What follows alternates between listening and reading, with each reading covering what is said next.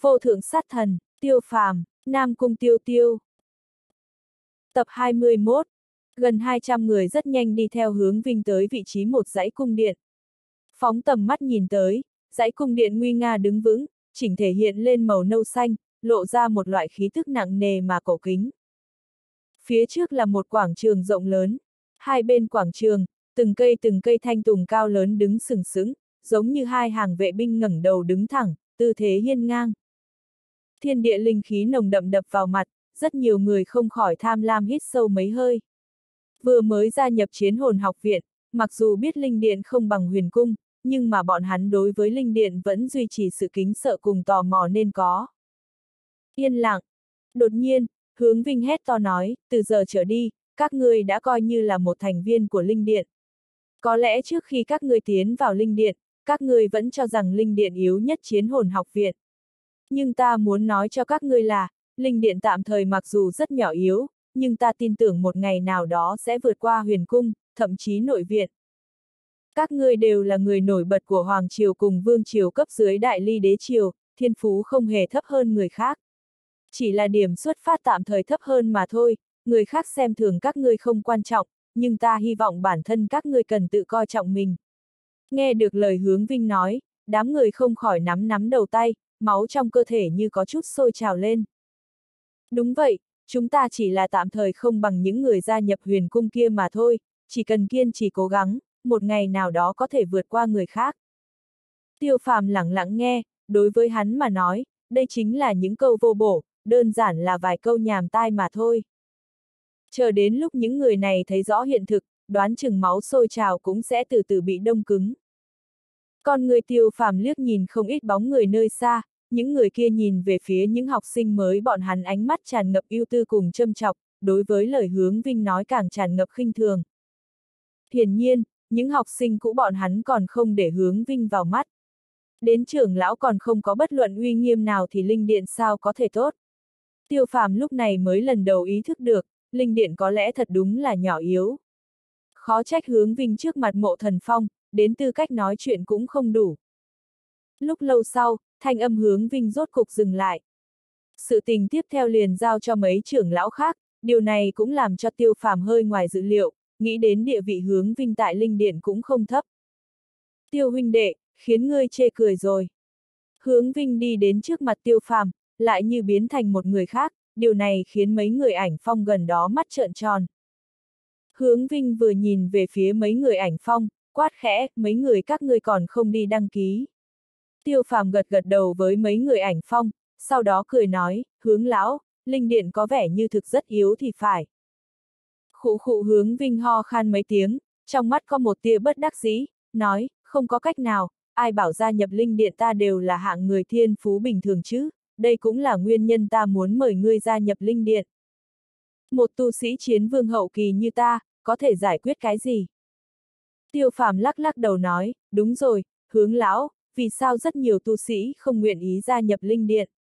Ai, cái này còn phải kể từ hồi 18 năm trước, năm đó linh điện ta xuất hiện một tuyệt thế thiên tài, tên là Mạnh Vân Tinh. Người có nghe nói qua chưa? Hướng Vinh thở dài hỏi, hai người vừa nói, vừa đi về hướng cung điện cách đó không xa. Không ít người nhìn thấy một màn này, tất cả đều lộ ra vẻ cổ quái, tiêu phàm này chẳng lẽ là con riêng của hướng vinh.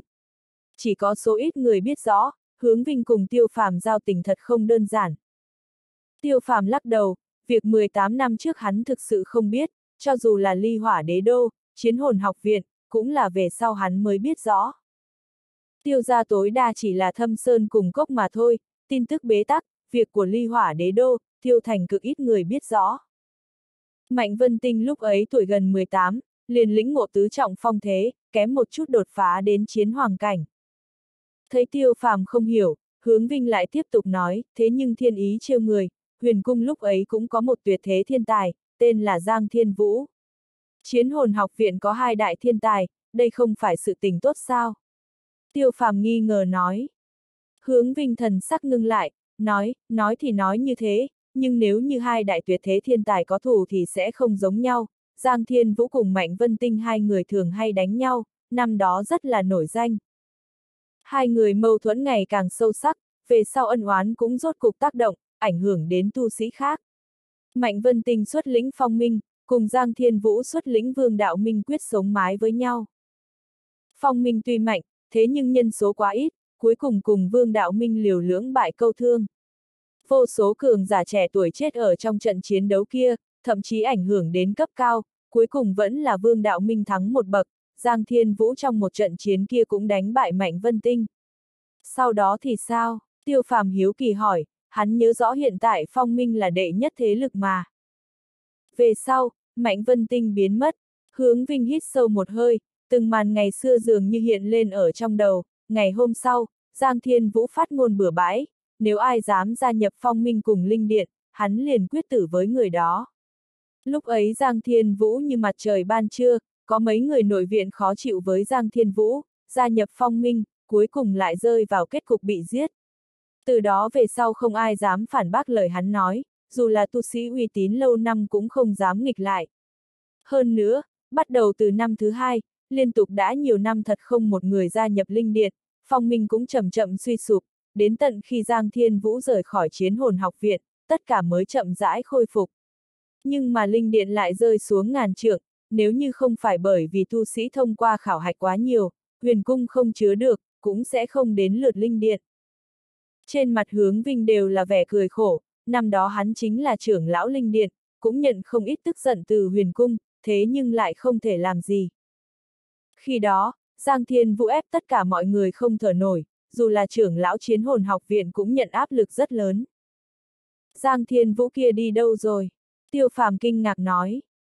Rời đi rồi. Hướng Vinh lắc đầu, tựa như không muốn nói nhiều lời với việc liên quan tới Giang Thiên Vũ. Tiêu Phàm cau mày một cái, trong lòng hơi có chút khó chịu, trong này chẳng lẽ còn có bí mật không thể nói sao? Hướng lão dẫn ta tới, chỉ là muốn nói với ta những điều này. Tiêu Phàm nhún nhún vai nói. Không phải, ta để ngươi gia nhập linh điện mặc dù là có ý riêng của bản thân, nhưng mà ta cũng muốn để ngươi lĩnh hội hoang thạch bia. Ta tin tưởng với thực lực ngươi, khẳng định có thể hiểu thấu đáo, chỉ cần ngươi có thể hiểu được một tia liền rất có thể lĩnh ngộ tứ trọng thế. Năm đó Mạnh Vân Tinh chính là sau khi lĩnh hội hoang thạch bia, lĩnh ngộ được tứ trọng phong thế. Hướng Vinh hít sâu một hơi nói. Chờ đã, hoang thạch bia gì cơ? Tiêu phàm vội vàng khoát khoát tay, trong lòng kinh ngạc vô cùng. Hoang thạch bia, là một khối thiên thạch trên trời rơi xuống, bên trong ẩn chứa một cỗ lực lượng quỷ dị, bất luận kẻ nào cũng có thể lĩnh ngộ một chút thứ gì từ trong đó, hơn nữa mỗi người lĩnh ngộ được đều không giống nhau. Năm đó linh điện suýt bị huyền cung sát nhập, thôn tính, chính là bởi vì có sự tồn tại của hoang thạch bia nên mới khiến huyền cung không đạt được mục đích. Hướng Vinh giải thích nói. Có thể đưa ta đi xem một chút chứ? Tiêu phàm trong lòng cũng hết sức tò mò, vội vàng nói. Đương nhiên có thể. Hướng Vinh tất nhiên là không chút do dự, trực tiếp mang theo tiêu phàm đi về nơi xa. Gạch nối gạch nối. Không bao lâu, hướng Vinh mang theo tiêu phàm xuyên qua từng tầng từng tầng tiểu viện cùng cung điện, rất nhanh liền xuất hiện ở vị trí một quảng trường nhỏ. Giữa quảng trường nhỏ trưng bày một khối thạch đầu cao ba trượng màu xám đen. Trên thạch đầu lưu chuyển một tia sương mù màu xám, tràn ngập về bốn phương tám hướng. Tại bốn phía chỗ thạch đầu màu xám đen, từng mảnh lá khô từ trên cao rơi xuống, khi tới gần thạch đầu màu xám đen vậy mà lơ lửng tại hư không, tựa như hoàn toàn đứng im, quả thực là vô cùng quỷ dị. Chỉ một lát sau, lá khô đứng im liền bắt đầu xoay xoay, bắt đầu đảo quanh thạch đầu màu xám đen, xung quanh nó dường như có một loại khí vô hình. Hơn nữa, có mấy phiến lá khô bị một màn sương mù màu xám đen xuyên thấu, giống như một đạo lợi kiếm cực quang, tốc độ cực nhanh. Khó trách bốn phía thạch đầu màu xám đen đầy người ngồi, nhưng không có người nào dám tới gần thạch đầu xám đen trong phạm vi 3 mét. Sương mù màu đen kia tuyệt đối có thể làm bị thương cường giả chiến vương cảnh. Một bên trên tảng đá xám đen, vẫn còn có một chút đường vân tự nhiên, xung quanh đường vân phát ra khí tức cường đại nhất. Hoang thạch bia, tiêu phàm nhìn ba chữ như dùng đao kiếm khắc lên thạch đầu màu xám đen, trong nháy mắt ánh mắt tựa như hút vào trong đó, thế thật cường đại, ba chữ này hẳn là về sau khắc lên. Không sai, đây là viện trưởng đại nhân tự mình khắc lên, hơn nữa còn là sử dụng kiếm để khắc.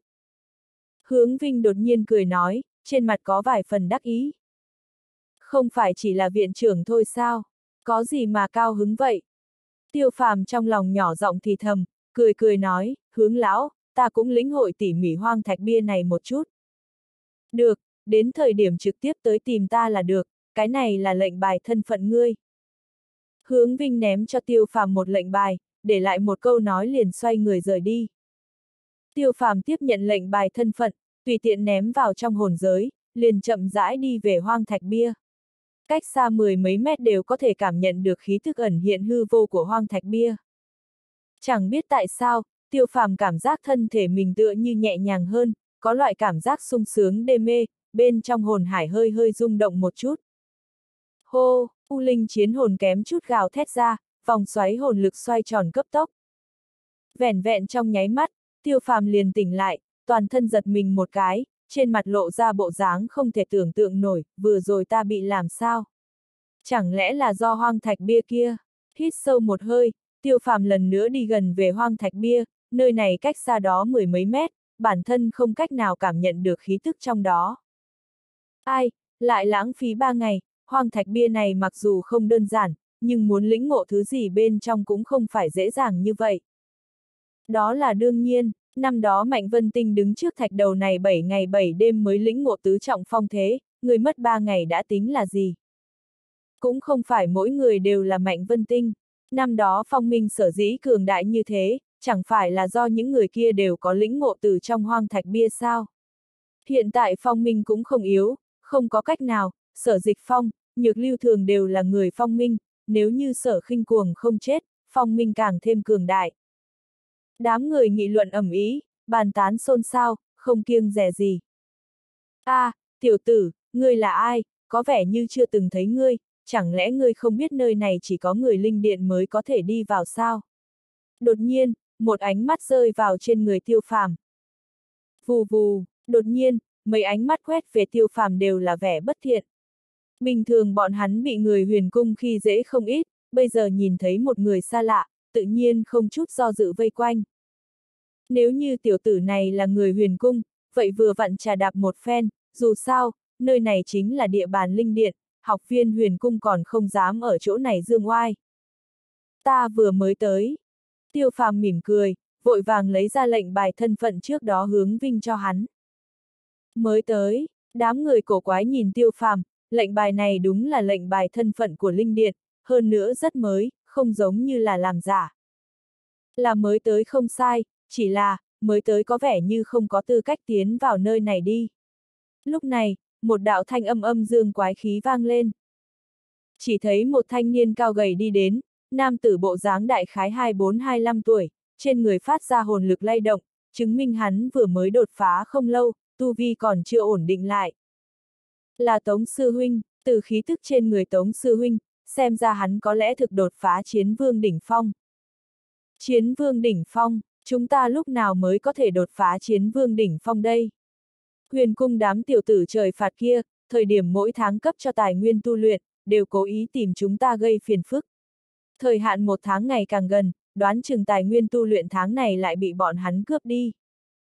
Tống sư huynh đột phá chiến vương cảnh đỉnh phong, chúng ta cũng chưa chắc sẽ thua, hừ, một ngày nào đó, linh điện ta muốn ép người huyền cung không thở nổi. Rất nhiều người nhìn thấy thanh niên cao gầy, trong mắt đều là vẻ kính sợ, vội vàng lui ra phía sau mấy bước, chỉ là lúc nói tới tu sĩ huyền cung, đám người liền phẫn nộ không thôi. Người có thể rời đi. Nam tử cao gầy nhìn tiêu phàm, một bộ dáng cao cao tại thượng, hắn tên là Tống Hào, thực lực chiến vương cảnh đỉnh phong, tại linh điện đã có thể được xem là cao thủ. Cả gan hỏi một câu, người mới cần cái gì mới có tư cách để vào nơi này. Tiêu phàm cười hỏi, hắn không muốn cứ thế mà đi, cũng không muốn đắc tội người linh điện. Ngược lại cũng không phải là hắn sợ, mà là tất cả mọi người là người linh điện, không cần thiết huyên náo quá căng, nên cho bọn hắn một chút tôn trọng. Ta nói ngươi rời đi, ngươi không nghe rõ sao.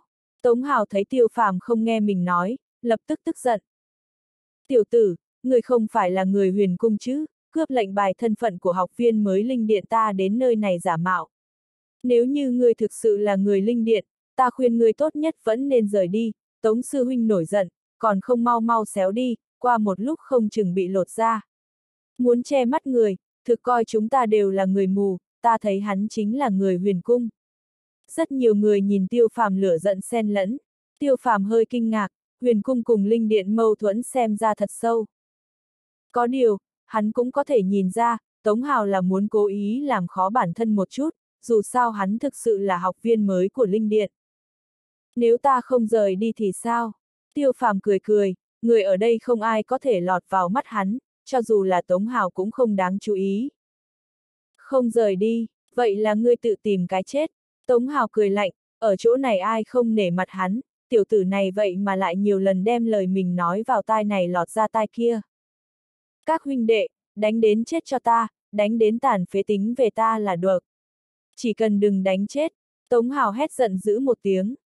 Bỗng nhiên hơn 10 đạo thân ảnh bốn phía nhao nhao vọt về phía tiêu phàm, quang mang chiến kỹ bao phủ tiêu phàm, công kích này nếu là đổi lại là người khác, chưa chắc có thể chống đỡ được. Phá, tiêu phàm một tiếng quát nhẹ, trong nháy mắt từng đạo kiếm khí từ trên người hắn dập dần ra, chốc lát liền ngưng tụ thành một vòng xoáy kiếm khí, ngăn cản tất cả chiến kỹ ở bên ngoài. Phốc phốc, khí lãng đáng sợ tại hư không đang quay cuồng, mười mấy người phóng tới tiêu phàm tất cả đều bị bắn bay ra, đập ầm ầm tại bốn phía quanh tảng đá. Tiểu tử, người quả nhiên không phải học viên mới của Linh Điện, người là gian tế huyền cung. Người Linh Điện, làm sao có thể mạnh như vậy? Tống Hào giận dữ hét, con người lúc nhìn thấy tiêu phàm có một tia sợ hãi. Vừa rồi tiêu phàm dễ như trở bàn tay đã ngăn trở được công kích của mười mấy người. Đến cả hắn cũng không thể nào làm được nhẹ nhàng như thế, có thể làm được vậy chỉ có thể là tu sĩ huyền cung. Gian tế huyền cung, tiêu phàm không còn gì để nói, ta thực sự là học viên mới của Linh Điện, căn bản không phải là gian tế huyền cung gì gì, sớm biết vậy đã không để hướng vinh rời đi.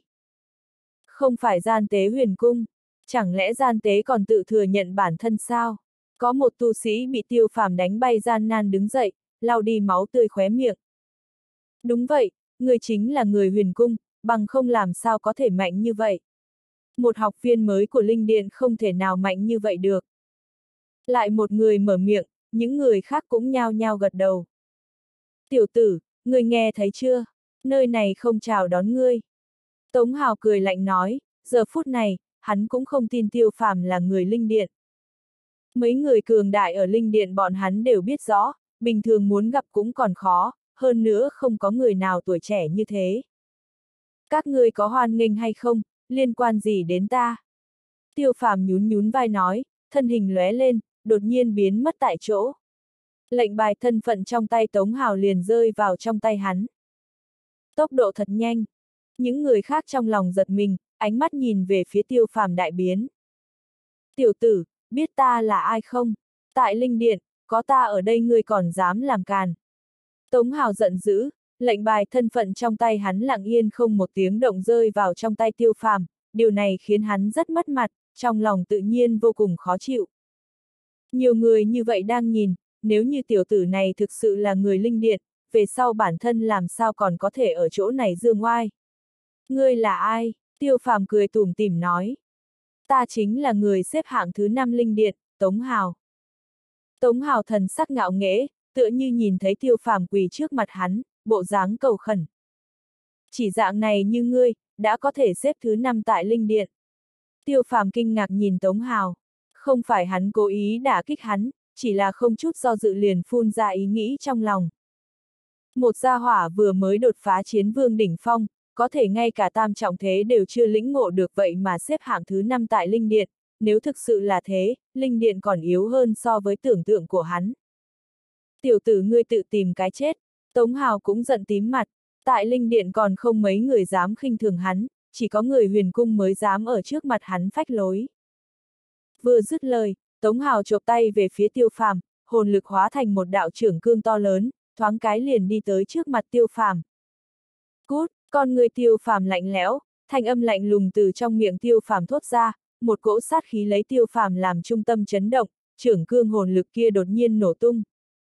Ngay sau đó, một trận hồn lực phong bạo cuồng mãnh quét sạch toàn bộ quảng trường nhỏ, tu sĩ cách tiêu phàm khá gần trên mặt lộ ra vẻ kinh hãi, bị một cỗ đại lực chấn bay. Đứng mũi chịu sào phải kể tới Tống Hào, hắn cảm giác lục phủ ngũ tạng kém chút bị phá vỡ, máu trong cơ thể sôi trào lên, trong miệng phun ra mấy ngụm máu tươi, đập ầm ầm xuống mặt đất, sắc mặt trắng bệch vô cùng. Tiêu phàm lạnh lùng nhìn Tống Hào, cho ngươi mặt mũi không biết xấu hổ, thật coi tiêu phàm ta dễ ức hiếp. Ngươi, ngươi là ai? Tống Hào kinh khủng nhìn tiêu phàm, hồi lâu mới phun ra một câu. Tiêu phàm. Tiêu phàm thản nhiên nói, để lại một câu nói liền không thèm để ý tới Tống Hào, mà là đi hướng về hoang thạch bia. Người trên mặt đất vội vàng nhường ra một con đường, con người nhìn về phía tiêu phàm tràn ngập sợ hãi. Tiêu phàm, tiêu phàm, Tống Hào khẽ cắn môi, trong lòng thầm nhủ cái tên này quá lạ lắm, hắn bất luận như thế nào cũng nhớ không ra. Audio điện tử võ tấn bền. Tống Hào cực kỳ không cam lòng, phẫn nộ mang theo mười mấy người rời đi. Những người khác vốn cũng muốn rời đi, có điều lúc này, thanh âm tiêu phàm vang lên, tất cả mọi người là học viên linh điện, không cần thiết phải đánh đánh giết giết, chỗ này rất lớn, có thể cùng nhau lĩnh hội. Những người khác hơi cảm kích liếc nhìn tiêu phàm, rất nhiều người trong lòng nói thầm, chẳng lẽ gia hỏa này thực sự là học viên mới của linh điện. Vừa mới tiến vào linh điện đã cường đại như vậy, vậy vì sao hắn còn muốn gia nhập linh điện, sao không gia nhập huyền cung? Linh điện mặc dù có hoang thạch bia, có thể lĩnh ngộ phong thế, nhưng mà chiến hồn học viện ngoại viện còn có vô kiếm nhai, nơi đó cũng có thể lĩnh ngộ kiếm thế. Chủ yếu nhất là tài nguyên tu luyện của huyền cung còn xa linh điện mới có thể so sánh, bằng không những năm này linh điện đã sớm cường đại lên. Về phần tất cả những thứ này, tiêu phàm không để ý bất kỳ cái gì, lẳng lặng ngồi ở cách hoang thạch bia 2 mét. Đám người thấy cảnh này, ánh mắt lộ ra vẻ kinh ngạc. Chẳng lẽ gia hỏa này không sợ chết? Gần như vậy, sương mù kia thế nhưng rất có lực sát thương, hay là tiểu tử này căn bản không nhìn ra sự đáng sợ của hoang thạch bia? Tiêu phàm tất nhiên biết rõ tất cả những thứ này, trên người hắn lưu chuyển lên từng tia hồn lực bảo vệ toàn thân, sau đó chậm rãi bao phủ về hoang thạch bia. Oanh, đột nhiên, tiêu phàm cảm giác một tiếng sấm nổ đánh vào giữa tâm hắn, trong đầu có chút không rõ. Khi hắn lấy lại tinh thần, lại phát hiện ra mình đã biến mất ở trong đình viện, học viên linh điện tất cả đều không còn bóng dáng. Bốn phía xung quanh hắn là một mảnh minh mông hoang dã, chăm chú nhìn về nơi xa, trời đất âm u khắp trốn, trong không khí tràn ngập một loại lạnh lẽo âm u, khiến cho thần hồn người ta run lên. Ô ô hư không cuồng phong thổi loạn, giống như dã thú đang gào thét, thê lương, tĩnh mịch. Tiêu phàm nhìn bốn phía xung quanh, không thấy bất cứ sinh linh nào, dù một cây cỏ dại cũng không có, hoàn toàn là một thế giới hoang vu. Đây là huyễn cảnh do hoang thạch bia tạo thành sao. Trong lòng tiêu phàm trầm ngâm, đầu óc hắn rất thanh tỉnh, nơi này so với sát lục không gian trước kia hắn tiến vào có điểm khác biệt, cho người ta một loại cảm giác hư ảo. Tiêu phàm không hề sợ hãi, thân xác vô cùng bình tĩnh, lặng lặng cảm nhận cuồng phong biến hóa ở bốn phía. Hắn dường như đưa thân vào chính giữa cơn cuồng phong, quỷ dị là cuồng phong bốn phía đều trùng kích tới, cơ thể hắn liền tựa như gió đang thổi lùa. Tiêu phàm muốn nâng bước chân lên, nhưng mà không mảy may động được, cảm giác thân thể nặng vạn tấn, nếu là người khác, đoán chừng đã sớm lộ ra vẻ tuyệt vọng, bắt đầu ra sức gào thét. Gió này thật đáng sợ. Sắc mặt tiêu phàm khó coi, mạnh vân tinh kia nhờ hoang thạch bia lĩnh ngộ tứ trọng phong thế, chẳng lẽ cũng là tiến vào mảnh không gian này. Hoang thạch bia này thực sự là quỷ dị. Quanh thân tiêu phàm chậm rãi hiển hiện từng tia hồn lực lay động, với một loại tần suất rung rung quỷ dị, tiêu phàm đã lĩnh ngộ tam trọng phong thế, lực lượng cuồng phong này mặc dù mãnh liệt, nhưng mà không thể hoàn toàn giam cầm tiêu phàm. Hô, tiêu phàm rốt cục động đậy, hắn bước ra một bước, xuất hiện ở hư không. Chỉ là quanh người hắn có chút vặn vẹo, da thịt trên mặt bị một cỗ lực lượng khổng lồ đè xuống. Tam trọng phong thế vẫn không đủ, tiêu phàm sầm mặt lại, sau khi kinh ngạc cũng có chút kinh hỉ, chỉ có áp lực mới có thể có động lực. Nghĩ vậy, tiêu phàm không còn bình tĩnh nữa, chậm rãi di động tại hư không. Mặc dù cảm giác như lội giữa bùn lầy, nhưng mà theo sự thay đổi tần suất rung động quanh người hắn, bước chân tiêu phàm càng lúc càng nhanh. Ngược gió, xuôi gió, tứ trọng phong thế, thời điểm ta hoàn toàn có thể lấy lực cản ngược gió chuyển hóa thành động lực, chính là thời điểm hoàn toàn nắm vững tứ trọng phong thế. Trong lòng tiêu phàm có một tia giác ngộ. Kỳ thật từ lúc hắn lĩnh ngộ tam trọng phong thế, tiêu phàm đã nghĩ tới điểm này, chỉ là không có phương pháp để hắn đi xác minh mà thôi. Bây giờ cơ hội tìm tới, tất nhiên không thể bỏ qua. Du Thắng Sư Huynh, chính là người này giả mạo người linh điện, thực chất là gian tế huyền cung. Đang lúc tiêu phàm đắm chìm trong lĩnh ngộ phong thế, một đạo thanh âm băng lãnh từ nơi không xa truyền đến, chỉ thấy một loạt tiếng người khí thế cuồn cuộn đi tới. Tiêu phàm không động tĩnh gì, nhưng người bên cạnh hắn lại bị dọa vội vàng đi sang một bên. Lúc nghe được hai chữ du thắng, bọn hắn liền thầm nói không hay rồi. Tống Hào tự biết không phải đối thủ của tiêu phàm, vậy là tìm người đến giúp đỡ.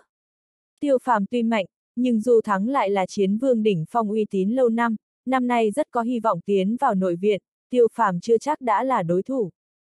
Tiểu tử, ngươi là người huyền cung, mở miệng nói chuyện là một dáng người khôi ngô dâu quai nón, người này tên Du Thắng, là cao thủ xếp thứ tư linh điện. Giờ phút này tiêu phàm đang lĩnh ngộ, cơ hồ toàn bộ tinh thần đều đắm chìm trong một loại trạng thái quỷ dị, nào có để ý tới Du Thắng. Lão tử nói chuyện với ngươi, vậy mà ngươi không thèm nhìn lão tử. Du Thắng vừa tức vừa giận, bị một tên tiểu tử xem thường, đây là việc chưa bao giờ có, chủ yếu nhất là đây còn là ở linh điện. Tức giận hừ một tiếng, Du Thắng lấy tay chộp về sau lưng tiêu phàm.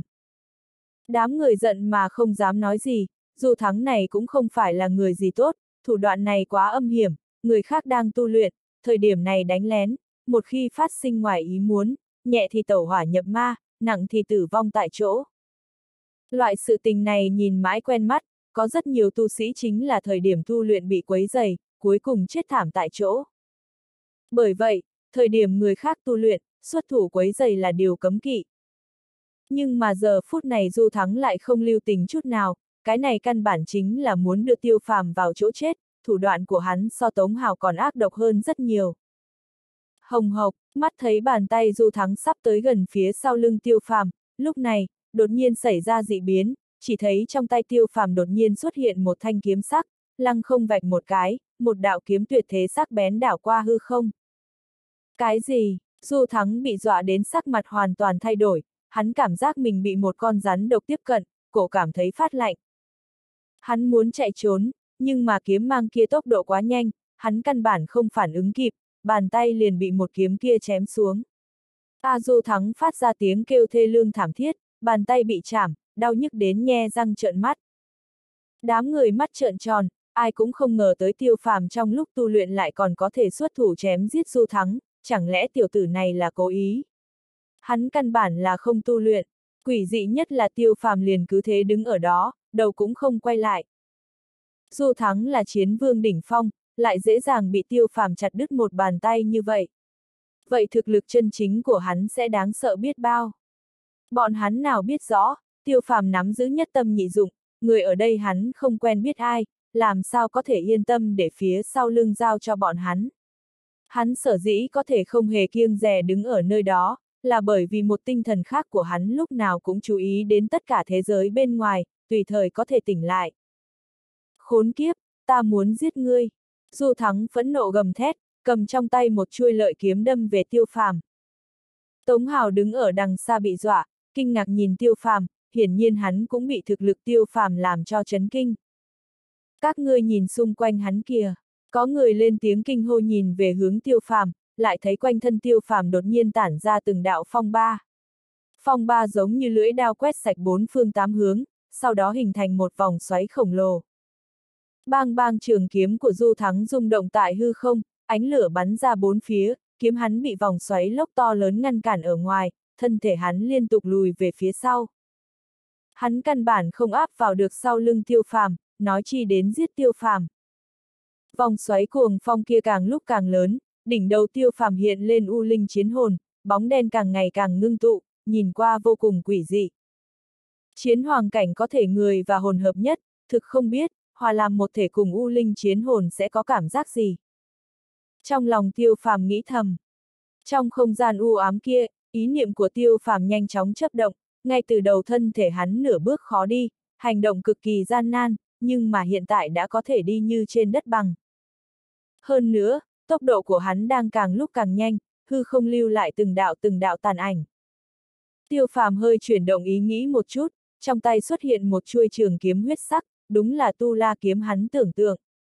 Chân hắn dẫm phiêu miểu thần tung bộ, trên không trung vũ động, tại hư không lưu lại từng đạo tàn ảnh. Kiếm thế ngày càng sắc bén, tốc độ ngày càng tấn mãnh, tiêu phàm tựa như hòa thành một thể cùng toàn bộ không gian u ám. Đám người du thắng ngây ngốc đứng đấy, trong lúc nhất thời không biết làm sao, đến việc tới gần tiêu phàm còn khó, muốn giết hắn không phải là chuyện cười đùa hay sao.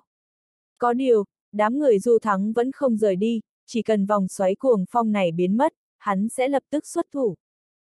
Đáng tiếc, khiến hắn thất vọng là cái vòng xoáy cuồng phong này trong nhất thời không có khả năng biến mất. Tứ trọng phong thế, toàn bộ lực cản hóa thành động lực, với vào tốc độ hiện tại của ta cho dù chiến hoàng trung kỳ bình thường cũng chưa chắc có thể so sánh. Trong lòng tiêu phàm trầm ngâm, vô tình nhất kích, dung hợp đệ tứ trọng phong thế, tốc độ nhanh gấp 3, dù là chiến hoàng sơ kỳ ta cũng có thể một kích đoạt mạng. Chiến hoàng trung kỳ cũng đủ sức đánh một trận. Trong lòng tiêu phàm kích động vô cùng, hắn thấy bản thân vô cùng may mắn vì gia nhập linh điện, vừa tới nơi này vậy mà liền lĩnh ngộ tứ trọng phong thế, phải biết kiếm thế của hắn còn dừng lại ở tam trọng. Với thực lực hiện tại của hắn, nếu như gặp lại tần đao lần nữa, tiêu phàm tự tin một người là đủ chiến, cho dù không địch lại, rút đi cũng dễ như trở bàn tay. Đáng tiếc, vô tận chiến quyết chỉ còn lục trọng, xem ra còn phải nghĩ biện pháp tiến tới gần tứ trọng mới được. Tiêu phàm ngưng tiếng nói, bây giờ hắn phong thế viên mãn, đã đủ đột phá thực lực chiến vương đỉnh phong. Hơn nữa, một khi đột phá chiến vương đỉnh phong, rất nhanh liền có thể càng tiến một bước, bước vào chiến hoàng cảnh. Hiện tại cũng không gấp, ta vẫn chỉ là chiến vương hậu kỳ mà thôi, mặc dù sát thế cùng phong thế lĩnh ngộ được tứ trọng, càng là chạm đến sát ý, nhưng mà kiếm thế còn chưa viên mãn, hẳn còn có không gian tiến bộ. Hơn nữa, hồng trần sát, hồng trần thiếu tứ đại chiêu thức còn có thể tiếp tục hoàn thiện. Tiêu phàm hít sâu một hơi nói. Sau đó, hắn không ngừng diễn luyện mấy đại kiếm chiêu này. Hồng trần sát, hồng trần thiếu, thiên địa tiêu sát tam đại kiếm chiêu công kích hắn đều dung nhập tứ trọng phong thế vào, uy năng cường đại không ít. Một khi lĩnh ngộ tứ trọng kiếm thế, lại dung nhập tam đại kiếm chiêu vào, công kích tất nhiên sẽ gia tăng tiếp. Mà tứ thức vô tình nhất kích cơ hồ trở thành một trong những vương bài của tiêu phàm, đại sát chiêu này, không phải vạn bất đắc dĩ không thể tùy tiện sử dụng. Lại thêm hai kiếm huyết sát cùng đồ lục của Tu La Tam Kiếm, tiêu phàm tự tin, chiến hoàng sơ kỳ bình thường tuyệt đối không phải đối thủ của mình. Thời gian từng ngày trôi qua, thoáng cái đã là ba ngày sau, tiêu phàm đem mấy đại kiếm chiêu này cơ hồ luyện đến cấp độ hoàn mỹ, ý thức chìm vào trong vùng không gian kia, phát huy đến mức hoàn toàn không cần lo lắng cái gì. Hô, thời khắc tiêu phàm mở hai mắt ra, vòng xoáy cuồng phong bao quanh thân đột nhiên biến mất, cùng lúc đó, một vệt sáng đâm hướng về ngực tiêu phàm. Người muốn chết sao? Tiêu phàm quát lạnh một tiếng, cho dù chưa lĩnh ngộ tứ trọng phong thế, đối mặt với chiến vương đỉnh phong tiêu phàm hắn cũng không sợ hãi. Người này dám xuất thủ với hắn, tiêu phàm sẽ không thủ hạ lưu tình. Một hào quang lạnh lẽo lóe lên, ngay sau đó một cái đầu lâu lăn xuống, bóng người kia còn duy trì động tác nghiêng về phía trước, trường kiếm lại đột nhiên rơi xuống đất. Du thắng chết, con người đám người mãnh liệt run rẩy, trong mắt đều là vẻ khó tin. Gạch nối gạch nối. Du thắng chết, ai cũng không nghĩ tới, du thắng vậy mà sẽ chết ở trên tay tiêu phàm. Bản thân tiêu phàm cũng không nghĩ tới đột nhiên sẽ xuất hiện một người xa lạ muốn giết mình. Tiêu phàm lướt qua ký ức của nhất tâm nhị dụng, đại khái hiểu rõ chuyện gì, có điều trong lòng không có bất kỳ hối hận nào. Du thắng cũng ngang ngược càn rỡ, mình đang trong trạng thái tu luyện, không trả lời hắn một câu, hắn liền xuất thủ tàn nhẫn, muốn lấy tính mạng mình, người như vậy giết hắn thì đã sao? Đám người câm như hến, trên quảng trường cây kim rơi cũng nghe rõ tiếng. Ngươi, ngươi giết Du Thắng, sư huynh.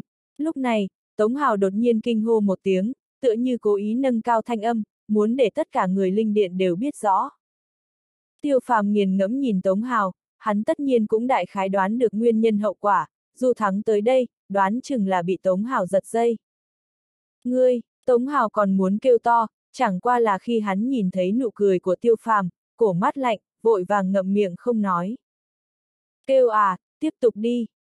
Tiêu phàm làm một điệu mời thủ thế, tựa như không lo lắng một chút nào về cái chết của Du Thắng, trên mặt tràn đầy nét cười nhàn nhạt.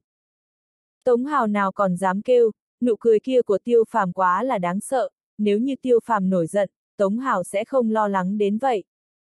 Đến Du Thắng cũng dám giết, huống chi Tống Hào hắn. Nụ cười trên mặt Tiêu Phàm chậm rãi ngưng kết, biến thành băng lạnh, một cỗ sát khí như ẩn như hiện lan tràn từ trên người hắn. Hắn lạnh lùng nhìn Tống Hào, Tống Hào như rơi vào hầm băng, toàn thân bắt đầu run rẩy. Linh điện sở dĩ yếu như vậy, cũng không phải là bởi vì các ngươi thiên phú quá kém, mà là các ngươi ngày ngày chỉ nghĩ đến đấu tranh nội bộ, còn muốn được như huyền cung, trên đời này làm gì có chuyện tốt như vậy. Tiêu phàm lạnh lùng cười một tiếng, trong mắt quét qua một tia khinh thường. Đám người trầm mặc không nói, một số người hổ thẹn cúi đầu.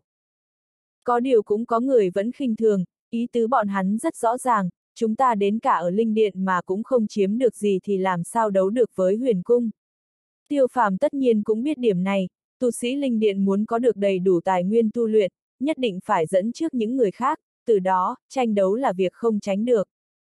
Nơi có lợi ích sẽ có phân tranh, đây là đạo lý từ trước tới nay không thay đổi.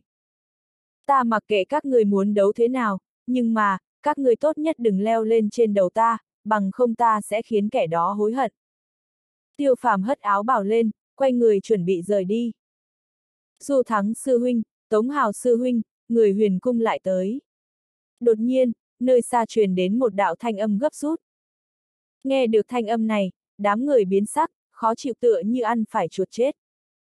Đám khốn kiếp này, ăn thịt người không nhả xương, tài nguyên tu luyện tháng trước cơ hồ bị bọn hắn vét sạch lại muốn chiếm cả tháng này nữa. Nếu như năm bình thối thể dịch của ta không thua trong tay bọn hắn, ta tuyệt đối có thể đột phá chiến vương hậu kỳ, con mẹ nó, thật muốn diệt đám thỏ huyền cung chết bầm kia đi. Chúng ta còn có thể làm gì, bọn du thắng sư huynh còn không phải là đối thủ, chúng ta còn có thể thắng hay sao?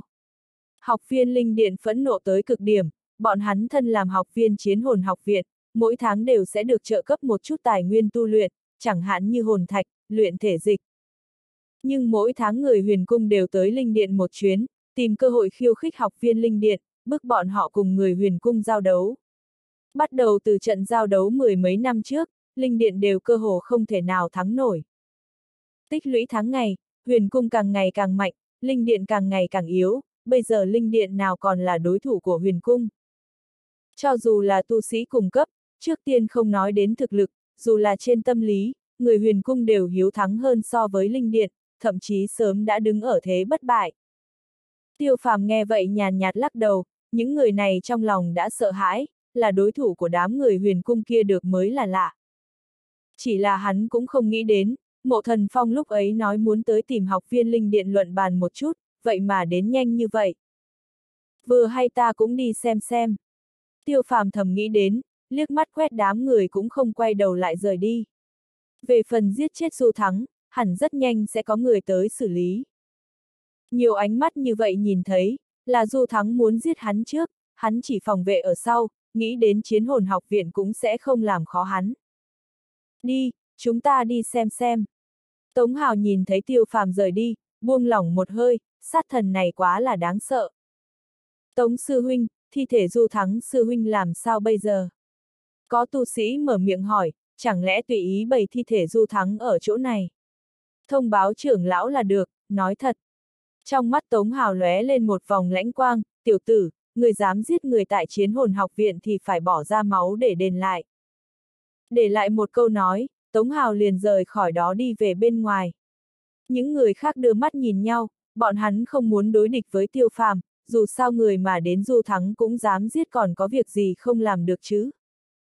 Nhưng bọn hắn lại không muốn đắc tội Tống Hào, tiêu phàm là ai bọn hắn còn không rõ lắm, ngộ nhỡ thực sự là người huyền cung, chẳng lẽ lại mặc cho người linh điện mình bị giết.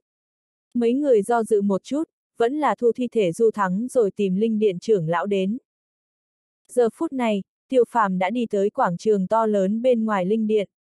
Trên quảng trường bóng người đông đảo, chia thành hai cỗ thế lực, rất rõ ràng là người linh điện và người huyền cung.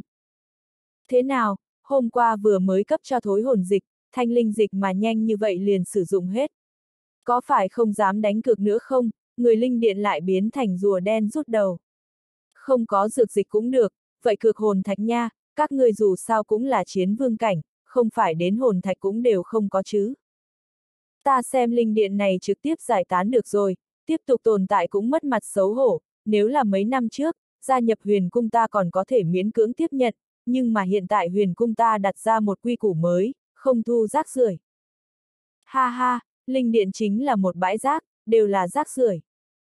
Học viên huyền cung ngươi một lời ta một câu, châm chọc không kiêng nể gì cả, mảy may không để linh điện vào mắt. Dù là một tu sĩ chiến vương cảnh trung kỳ cũng có thể tùy ý lăng nhục, có thể thấy linh điện những năm này không chịu nổi đến cỡ nào. Học viên vừa mới gia nhập linh điện nhìn thấy một màn này, tất cả đều vô cùng phẫn nộ, rất nhiều người muốn đứng ra cùng người huyền cung giao đấu một phen, liền bị những người khác giữ chặt. Đây rõ ràng là phép khích tướng, ai chúng kế là kẻ không may, nhiều năm như vậy, người linh điện cũng khôn ngoan hơn rất nhiều.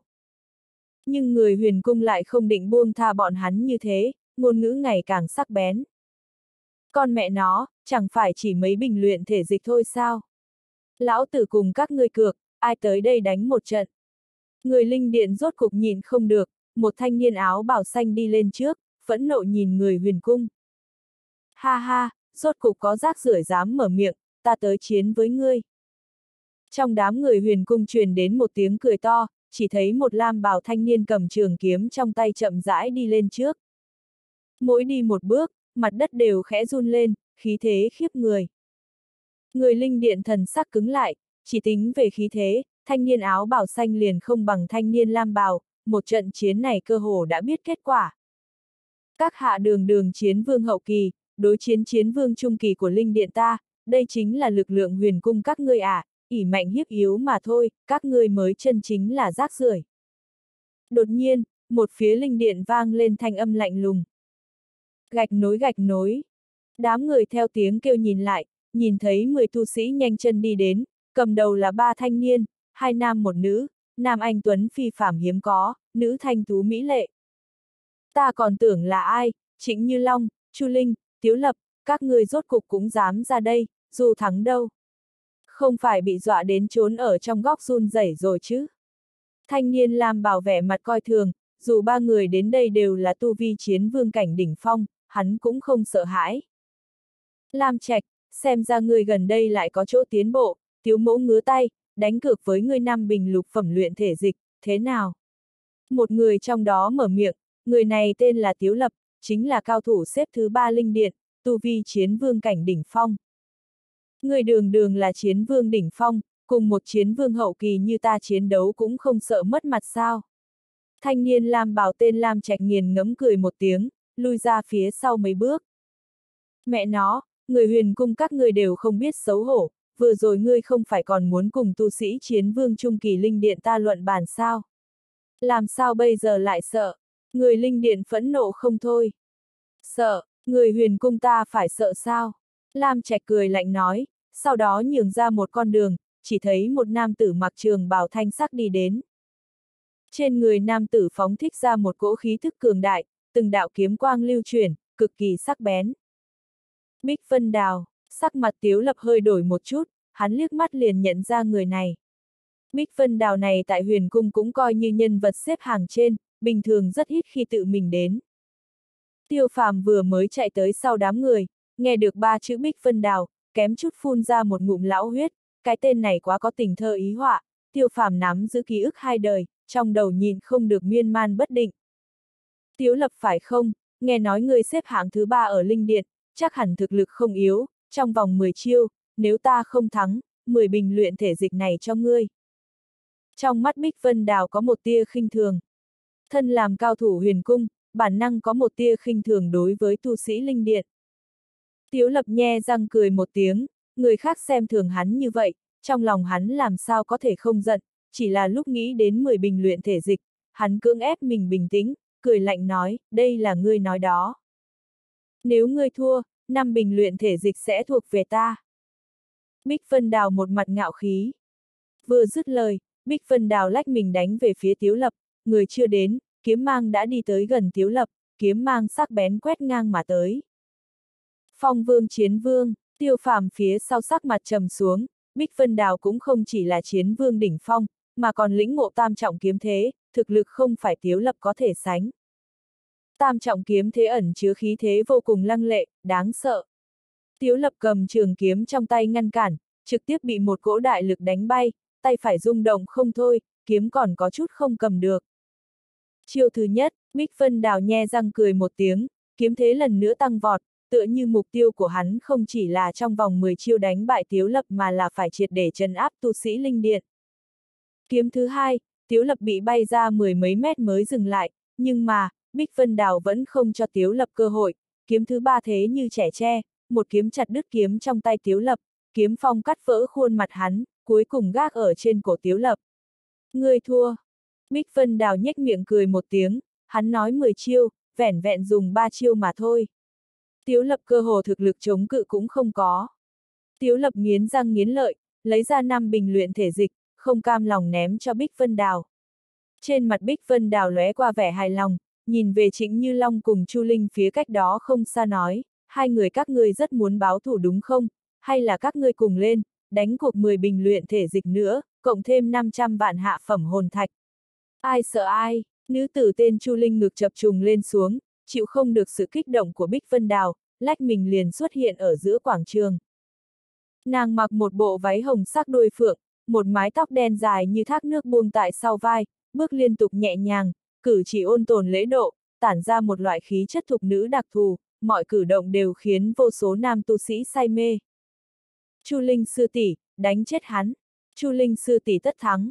Tu sĩ linh điện như đánh máu gà, hưng phấn vô cùng, ánh mắt tất cả đều rơi vào trên người Chu Linh. Chu Linh, làm tình nhân của ta, ta để ngươi thắng một ván, thế nào? Bích Vân Đào liếm liếm đầu lưỡi khô giáo, trong mắt tỏa ra vẻ dâm tàn nồng đậm. Muốn chiến thì chiến đi. Chu Linh khẽ quát một tiếng. Bang, theo thanh âm Chu Linh vang lên, một chuôi trường kiếm hồng sắc trong tay ra khỏi vỏ, trong nháy mắt đâm hướng về Bích Vân Đào. Bích Vân Đào phản ứng cực nhanh, chân nhấn một chút, thân thể nhẹ như yến lui hướng về về sau. Không thể không nói, tên của Bích Vân Đào mặc dù khôi hài, nhưng thực lực vẫn cực kỳ tốt. Thực lực phong vương chiến vương nếu là đặt ở linh điện, đoán chừng cũng là nhân vật lợi hại nhất, dù sao tiếu lập xếp hạng 3 mới chỉ là chiến vương đỉnh phong bình thường. Đệ nhị Chu Linh cùng đệ nhất Trịnh Như Long dù có mạnh hơn thì có thể mạnh tới đâu. Ha ha, Chu Linh muội muội, người thua. Bích Vân Đào cười dâm tà, một trưởng vỗ trên bờ vai Chu Linh. Chu Linh phun ra một ngụm máu tươi bay ngược ra, đập ầm ầm ở trên quảng trường, sắc mặt trắng bệch vô cùng. Tu sĩ Linh Điện lộ ra vẻ chấn động, Chu Linh thực lực đến gần vô hạn phong vương chiến vương, vậy mà lại thua đậm như thế. Nể tình ngươi là nữ nhân, ta chỉ cần 10 bình luyện thể dịch của ngươi, về phần 500 vạn hạ phẩm hồn thạch kia, ban đêm bồi ta một đêm, ta liền xóa bỏ. Bích Vân đào lách mình xuất hiện ở bên người Chu Linh, một bàn tay hướng về cầm Chu Linh sờ soạng. Phi, Chu Linh xì một ngụm nước bọt, trực tiếp phun tới trên mặt Bích Vân đào. Ngươi một con tiện nhân, cho ngươi mặt mũi còn không biết xấu hổ, lão tử phế ngươi. Bích Vân Đào phẫn nộ tới cực điểm, một bàn tay vỗ vào trên mặt Chu Linh. Bích Vân Đào, đủ rồi đó. Đúng lúc này, một cái tay gắt gao giữ lấy tay Bích Vân Đào, căn bản không thể động đậy, đó là một nam tử mặc bộ áo bào trắng, dáng người khôi ngô vô cùng, thêm thể tản ra lực lượng bùng nổ như rồng như hổ. Trịnh Như Long, người rốt cục động thủ, còn tưởng rằng ngươi một mực làm con rùa đen rụt đầu. Bích Vân Đào nhếch miệng cười một tiếng, chậm rãi đứng dậy, tiện tay hất lên tránh thoát cánh tay Trịnh Như Long. Hai cỗ khí thế trong nháy mắt đâm vào cùng một chỗ, hai nữ tu linh điện vội vàng dìu Chu Linh rời đi. Trịnh sư huynh chính là đệ nhất linh điện, khẳng định có thể đánh bại hắn. Cho dù đánh bại Bích Vân Đào thì thế nào, Bích Vân Đào không phải người mạnh nhất trong những người này, các ngươi xem, Tần Phong kia còn không có xuất thủ. Một khi bọn hắn thua, đám người úy thiên lang, Ninh Chiết đoán chừng cũng sẽ xuất hiện, linh điện ta muốn thắng bọn hắn, cơ bản không có khả năng. Nhìn thấy Trịnh Như Long xuất thủ, một số người linh điện lộ ra vẻ kích động, nhưng mà phần lớn người lại một mặt xa suốt tinh thần. Nếu như Trịnh Như Long thua, toàn bộ linh điện không còn một tia hy vọng.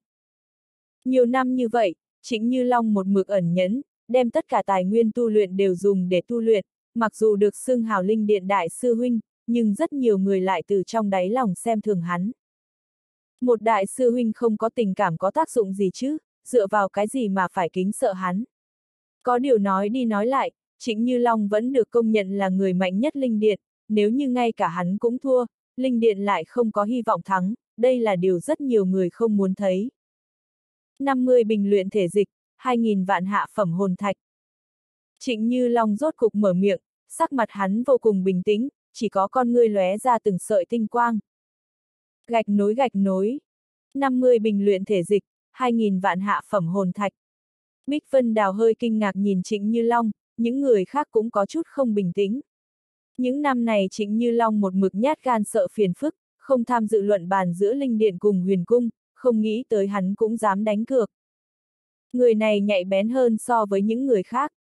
Đám người tiêu phàm đã đại khái rõ ràng sự tình Trịnh Như Long. Theo người khác, Trịnh Như Long tham sống sợ chết, nhưng đây chính là điểm mạnh của hắn, làm người tâm tư kín đáo, hơn nữa rất có lực ẩn nhẫn. Người khác đều không chịu được huyền cung khích tướng, mà Trịnh Như Long lại ngoảnh mặt làm ngơ, chỉ bằng vào điểm này cũng đủ để chứng minh Trịnh Như Long bất phàm. Những người khác luyện thể dịch, hồn thạch toàn bộ bị người huyền cung cướp đi, Trịnh Như Long lại dùng tu luyện. Mà hết thảy cũng không phải Trịnh Như Long tham sống sợ chết, mà là hắn biết, chỉ có bản thân cường đại lên mới có thể đánh bại đối thủ. Đem tất cả tài nguyên tu luyện bại vào tay tu sĩ huyền cung, còn không bằng bản thân ẩn nhẫn một chút. Đem tất cả tài nguyên tu luyện dùng trên người bản thân, đợi một khi phong vân hóa long sẽ đánh hắn trở tay không kịp. Mà hiện tại, Trịnh Như Long không có tiếp tục ẩn nhẫn. Trịnh Như Long, xem ra trước kia nhìn lầm ngươi, 50 bình luyện thể dịch, 2.000 vạn hạ phẩm hồn thạch đúng không, ta với ngươi cược. Bích Vân đào hai mắt khẽ híp một cái, trong lòng cười lạnh nói, chờ ta đem các người đánh ngã, nhìn linh điện ngươi còn có ai dám đứng ra. Bích Vân đào thân làm phong vương chiến vương thật đúng là không đem Trịnh Như Long để ở trong lòng. Trịnh Như Long không thể nào là tuyệt thế chiến vương, toàn bộ chiến hồn học viện tuyệt thế chiến vương chỉ đếm được trên đầu ngón tay. Về phần chiến hoàng vậy càng thêm không có khả năng. Nếu Trịnh Như Long trở thành chiến hoàng, đoán chừng sớm đã bị nội viện mời đi, khảo hạch nội viện không cần phải tham dự. Được. Trịnh Như Long gật đầu, thần sắc cũng có chút ngưng trọng. Đám người nghe vậy, nhao nhao thối lui ra sau. Tiêu phàm đứng ở trong đám người, lẳng lặng nhìn một màn này. Nơi xa, đám người Tống Hào chạy đến nhìn thấy Trịnh Như Long cùng Bích Vân Đào chuẩn bị giao phong, trên mặt cũng lộ ra vẻ kinh ngạc. Trịnh Như Long nhát gan sợ phiền phức mọi người đều biết, lần này lại dám chủ động cùng người huyền cung giao thủ. Vẫn như cũ trong vòng 10 chiêu giải quyết ngươi.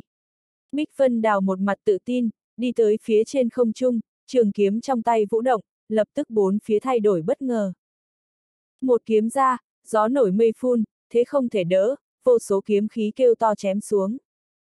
Trịnh Như Long không dám khinh thường, trong tay đột nhiên xuất hiện một chuôi thanh long đao, một cỗ khí thế cuồng bá từ trên người hắn chấn động xuất hiện. Trịnh Như Long giơ thanh long đao lăng không chém ra, một đạo đao hà cao vài trượng dường như khai mở, nghịch không mà lên, dưới ánh mắt kinh hãi của Bích Vân Đào, hung mãnh đánh tới. Thật mạnh, đám người thấy thế, kinh ngạc vô cùng, ai cũng chưa từng thấy qua trịnh như long chân chính xuất thủ, chỉ biết bọn người Chu Linh, Tiếu Lập đều cam bái hạ phong. Bởi vậy, Trịnh Như Long tại Linh Điện cũng có danh xưng đại sư huynh, cho dù hắn nhát gan sợ phiền phức cũng không ai dám không cho hắn mặt mũi. Kiếm khí cùng đao hà đâm vào cùng một chỗ, hình thành từng đạo phong nhận to lớn phóng tới bốn phương tám hướng, rất nhiều tu sĩ cấp thấp bị thổi làm thất điên bát đảo. Vậy mà bổ ra mấy trăm đạo kiếm khí, con người Bích Vân Đào co rụt lại, có chút trở tay không kịp, vội vàng cầm kiếm ngăn cản, rốt cuộc không còn loại cao cao tại thượng lúc trước. Oanh một tiếng, trong tầm mắt mọi người, hai người chính như Long cùng Bích Vân Đào bay ngược ra, hai người đạp mạnh mặt đất lần nữa như đạn pháo trùng sát vào đối phương. Hung mãnh khí lãng cổ động, hai người kích chiến cùng một chỗ, không trung ngẫu nhiên có máu tươi bắn tung tóe. Phong vương chiến vương, người vậy mà cũng lĩnh ngộ tam trọng đao thế. Bích Vân Đào gầm thét, hắn phát hiện bản thân khinh thường thực lực chính như Long, coi như người lĩnh ngộ tam trọng đao thế lại như thế nào, ta cũng lĩnh ngộ tam trọng kiếm thế, thắng ngươi dễ như trở bàn tay. Thế sao? Trịnh Như Long cười khẽ, trên người hắn nhiều chỗ thụ thương, nhưng giờ phút này càng chiến càng hăng. Không lâu lúc trước hắn lĩnh ngộ tam trọng đao thế, đạt tới cấp độ phong vương chiến vương, đối với thực lực bản thân cũng cực kỳ tự tin. Tài nguyên tu luyện linh điện có lẽ không bằng huyền cung, nhưng chiến kỹ lại không yếu hơn bao nhiêu. Dù sao, linh điện và huyền cung là tồn tại cùng một cấp độ. Tinh ngân mạn không, Bích Vân đào trường kiếm trong tay tỏa ra hơn 10 đạo vết sách sán lạn, chói mắt, tinh ngân răng khắp nơi như một tấm lưới lớn bằng ánh sáng, hướng Trịnh Như Long đánh tới. Một khi bị lưới lớn bao phủ, thân thể tuyệt đối sẽ bị lưới lớn xé vỡ nát. Thanh Long khiếu nhật, mắt thấy lưới tinh ngân kia phô thiên cái địa chụp đến, Trịnh Như Long rốt cục động, hai tay dắt lấy thanh long đao, trầm ổn trung bình tấn, trường đao nhẹ nhàng nhấc lên. Chỉ thấy một đạo thanh sắc đao khí nghịch không mà lên, sau đó chia ra làm ba, nhìn qua ba đạo đao khí kia giống như ba con thanh long đang nhe răng vung chảo đánh tới. Suy suy, tinh ngân kiếm khí ngưng tụ lưới lớn bị thanh sắc đao khí xé nát, hóa thành từng đợt hồn lực phong bạo quét sạch bốn phương tám hướng. Quanh thân trịnh như long bị từng đạo phong nhận cắt đứt, tơ máu bay vụt. Giết, hai người gần như đồng thời gầm thét, giống như như chớp giật sông lên. Đao kiếm chạm vào nhau, hai người gần như điên cuồng, chiến ý, sát ý bộc phát, ai cũng không nhường ai. Đao khí, kiếm khí răng đầy hư không nơi đây, không ít người đã thấy không rõ bên trong phát sinh cái gì. ầm ầm, sau nửa ngày, một tiếng nổ trùng thiên vang lên, một đạo thân thể máu me đầm đìa từ trong gió lốc bay ra, hung hăng đập trên mặt đất, trượt ra chừng 20 thước mới dừng lại, mặt đất lưu lại một đường vết máu. Trịnh Như Long, ta muốn giết ngươi. Ngay sau đó truyền đến tiếng Bích Vân Đào ngập trời gầm thét, đám người lộ ra vẻ kinh hãi. Nói xong luận bàn, làm sao biến thành sinh tử chi chiến. Thời khắc đám người nhìn lại, lại là phát hiện cánh tay trái Bích Vân Đào không còn. Nơi đó máu me đầm đìa, một đoạn bạch cốt hiển lộ ra, rất hiển nhiên, cánh tay hắn là bị xoắn nát. Khó trách Bích Vân Đào tức giận như thế, cánh tay bị chảm, về sau thực lực hắn tất nhiên giảm bớt đi nhiều. Khụ khụ trong miệng trịnh như long máu tươi cuồng phun, chém dụng một cánh tay Bích Vân Đào nhưng người hắn cũng bị thương nặng, toàn thân trên dưới không có một chỗ hoàn hảo. Một trận chiến này lưỡng bại câu thương, nhưng trịnh như long tổn thương càng nặng hơn. Bích Vân Đào, người muốn giết người hay sao? Chu Linh khẽ kêu, hóa thành một vệt sáng hướng về Bích Vân Đào phóng đi. Oanh, cũng đúng lúc này, một đạo lợi mang từ một phương huyền cung xông ra, một trưởng hướng Chu Linh vỗ tới. Sắc mặt Chu Linh hơi đổi một chút, vội vàng đánh trả một trường. Thân ảnh Chu Linh rút lui tầm 10 bước, mà ở tại chỗ đứng đấy một chàng thanh niên, lạnh lùng nhìn đám người linh điện nói, bọn hắn chiến đấu còn chưa có kết thúc, ta xem ai dám nhúng tay. Tần Phong, Trịnh Như Long đã bại, các người đây là giết người chứ không phải luận bàn. Chu Linh phẫn nộ quát, khóe miệng tràn ra một tia máu tươi. Tần Phong, hai mắt tiêu phàm khẽ híp một cái, hắn nhớ kỹ tần đao có nhi tử gọi là tần Phong. Nhìn kỹ, tần Phong cùng tần đao còn quả thật có mấy phần rất giống. Ta giết hắn thì như thế nào?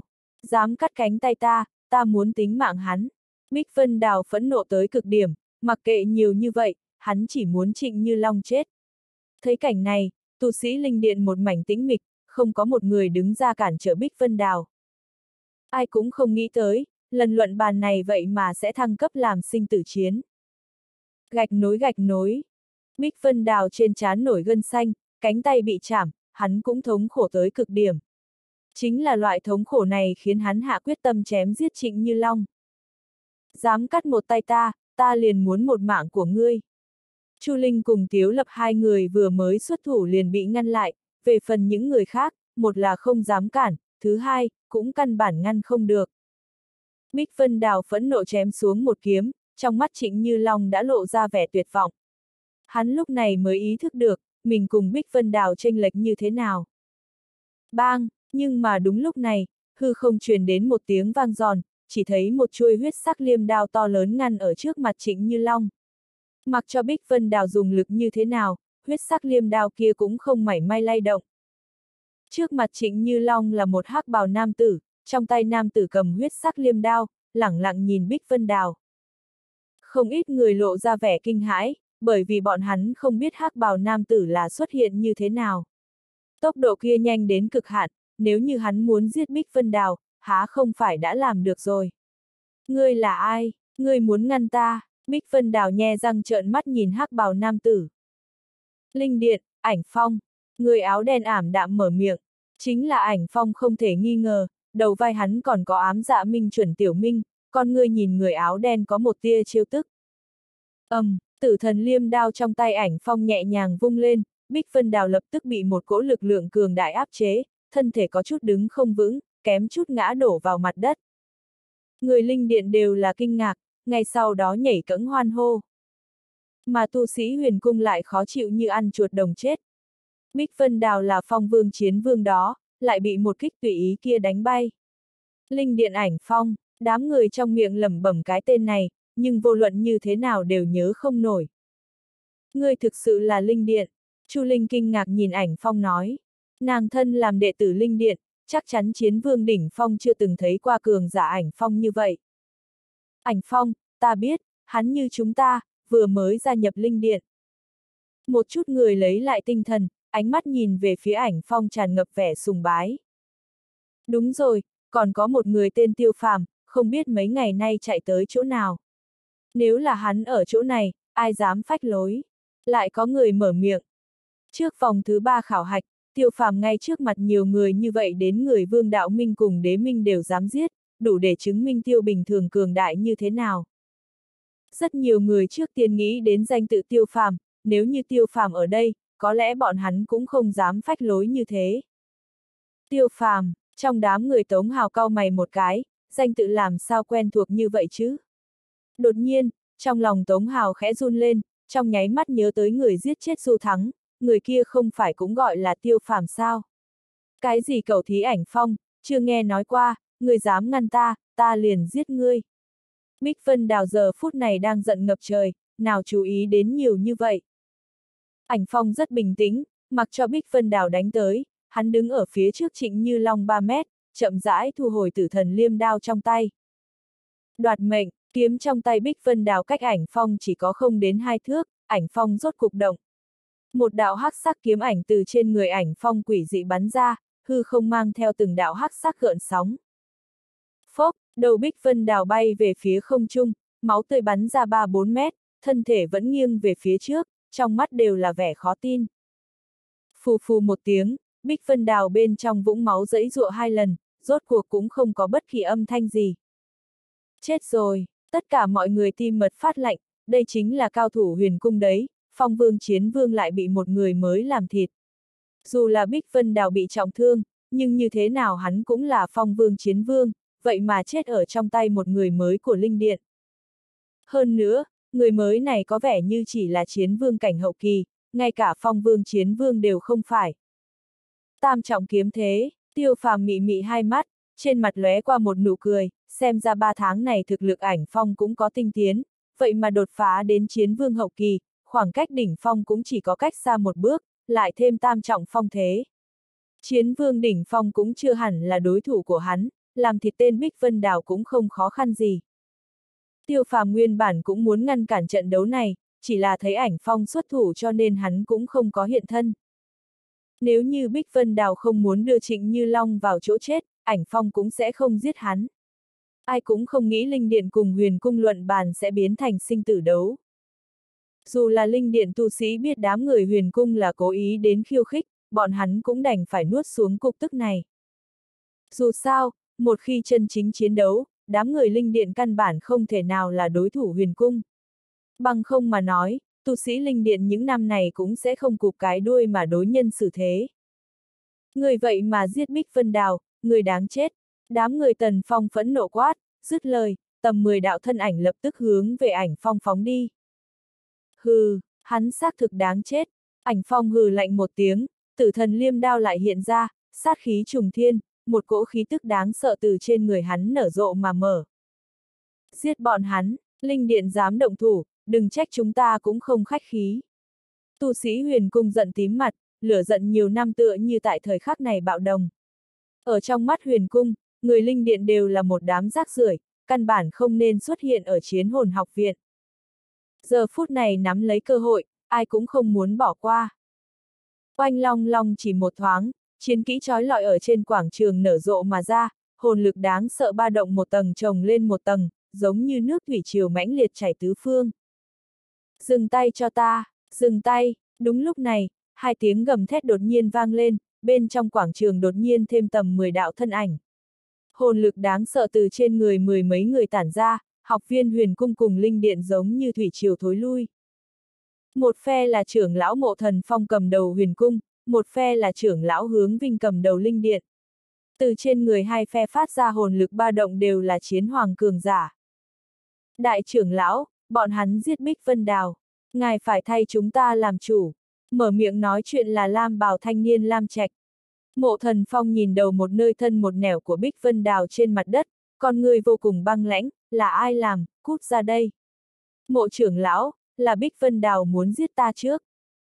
Trịnh Như Long cảm kích liếc mắt nhìn ảnh phong, vội vàng mở miệng nói ra. Nhưng hiện tại ta nhìn thấy là thi thể Bích Vân Đào mà không phải ngươi. Mộ thần phong lạnh lùng quét Trịnh Như Long liếc mắt, ngữ khí thập phần bá đạo. Theo ý tứ mộ trưởng lão, tự vệ cũng là tội sao. Trịnh Như Long sầm mặt lại, lấy dũng khí nói. Bình thường bị người khác cho là hắn tham sống sợ chết, nhưng chẳng ai ngờ rằng hắn cũng dám cùng mộ thần phong nói chuyện như thế. Ai có thể chứng minh ngươi là tự vệ mới giết chết Bích Vân Đào. Mộ thần phong trợn mắt quét ngang, một cỗ khí thế cường đại bức trịnh như long. Mộ thần phong, ngươi chẳng lẽ muốn giết người diệt khẩu sao? Hướng Vinh lách mình xuất hiện ở trước mặt mộ thần phong, ngươi cũng đừng quên, nơi này là linh điện, không phải nơi huyền cung dương oai. Sắc mặt mộ thần phong càng ngày càng âm trầm, nếu là bình thường hướng Vinh dám nói chuyện như thế với hắn, hắn sẽ trực tiếp đánh. Nhưng là bây giờ, hướng Vinh đã là cường giả không kém gì hắn, hơn nữa còn là linh điện đại trưởng lão, hắn cũng không dám làm gì hướng Vinh. Hôm nay, linh điện ngươi không cho huyền cung ta một cái công đạo, việc này sẽ không xong. Mộ thần phong ngữ khí lạnh như băng nói, hận không thể đem trịnh như long ăn sống nuốt tươi. Gạch nối gạch nối. Mộ thần phong vừa dứt lời, tu sĩ huyền cung nhao nhao tiến lên một bước, khí tức cường đại xông thẳng vào đám người linh điện. Muốn động thủ, chúng ta phụng bồi. Hướng Vinh không sợ hãi chút nào. Nếu là bình thường, hắn không thể không trợn một con mắt nhắm một con mắt, nhưng hiện tại hắn đã đột phá chiến hoàng cảnh đỉnh phong, không cần thiết sợ mộ thần phong. Tu sĩ linh điện tựa như cũng nhận cảm nhiễm, nhao nhao tiến lên, đứng sau lưng hướng Vinh, tranh phong tương đối. Hướng Vinh, người có biết giết chết đồng môn sư huynh đệ là tội gì không? Con người mộ thần phong càng ngày càng mà băng lãnh. Hướng Vinh vẫn như cũ dám theo hắn đối đầu thì thôi, những học viên này vậy mà cũng ngang ngược cản rỡ.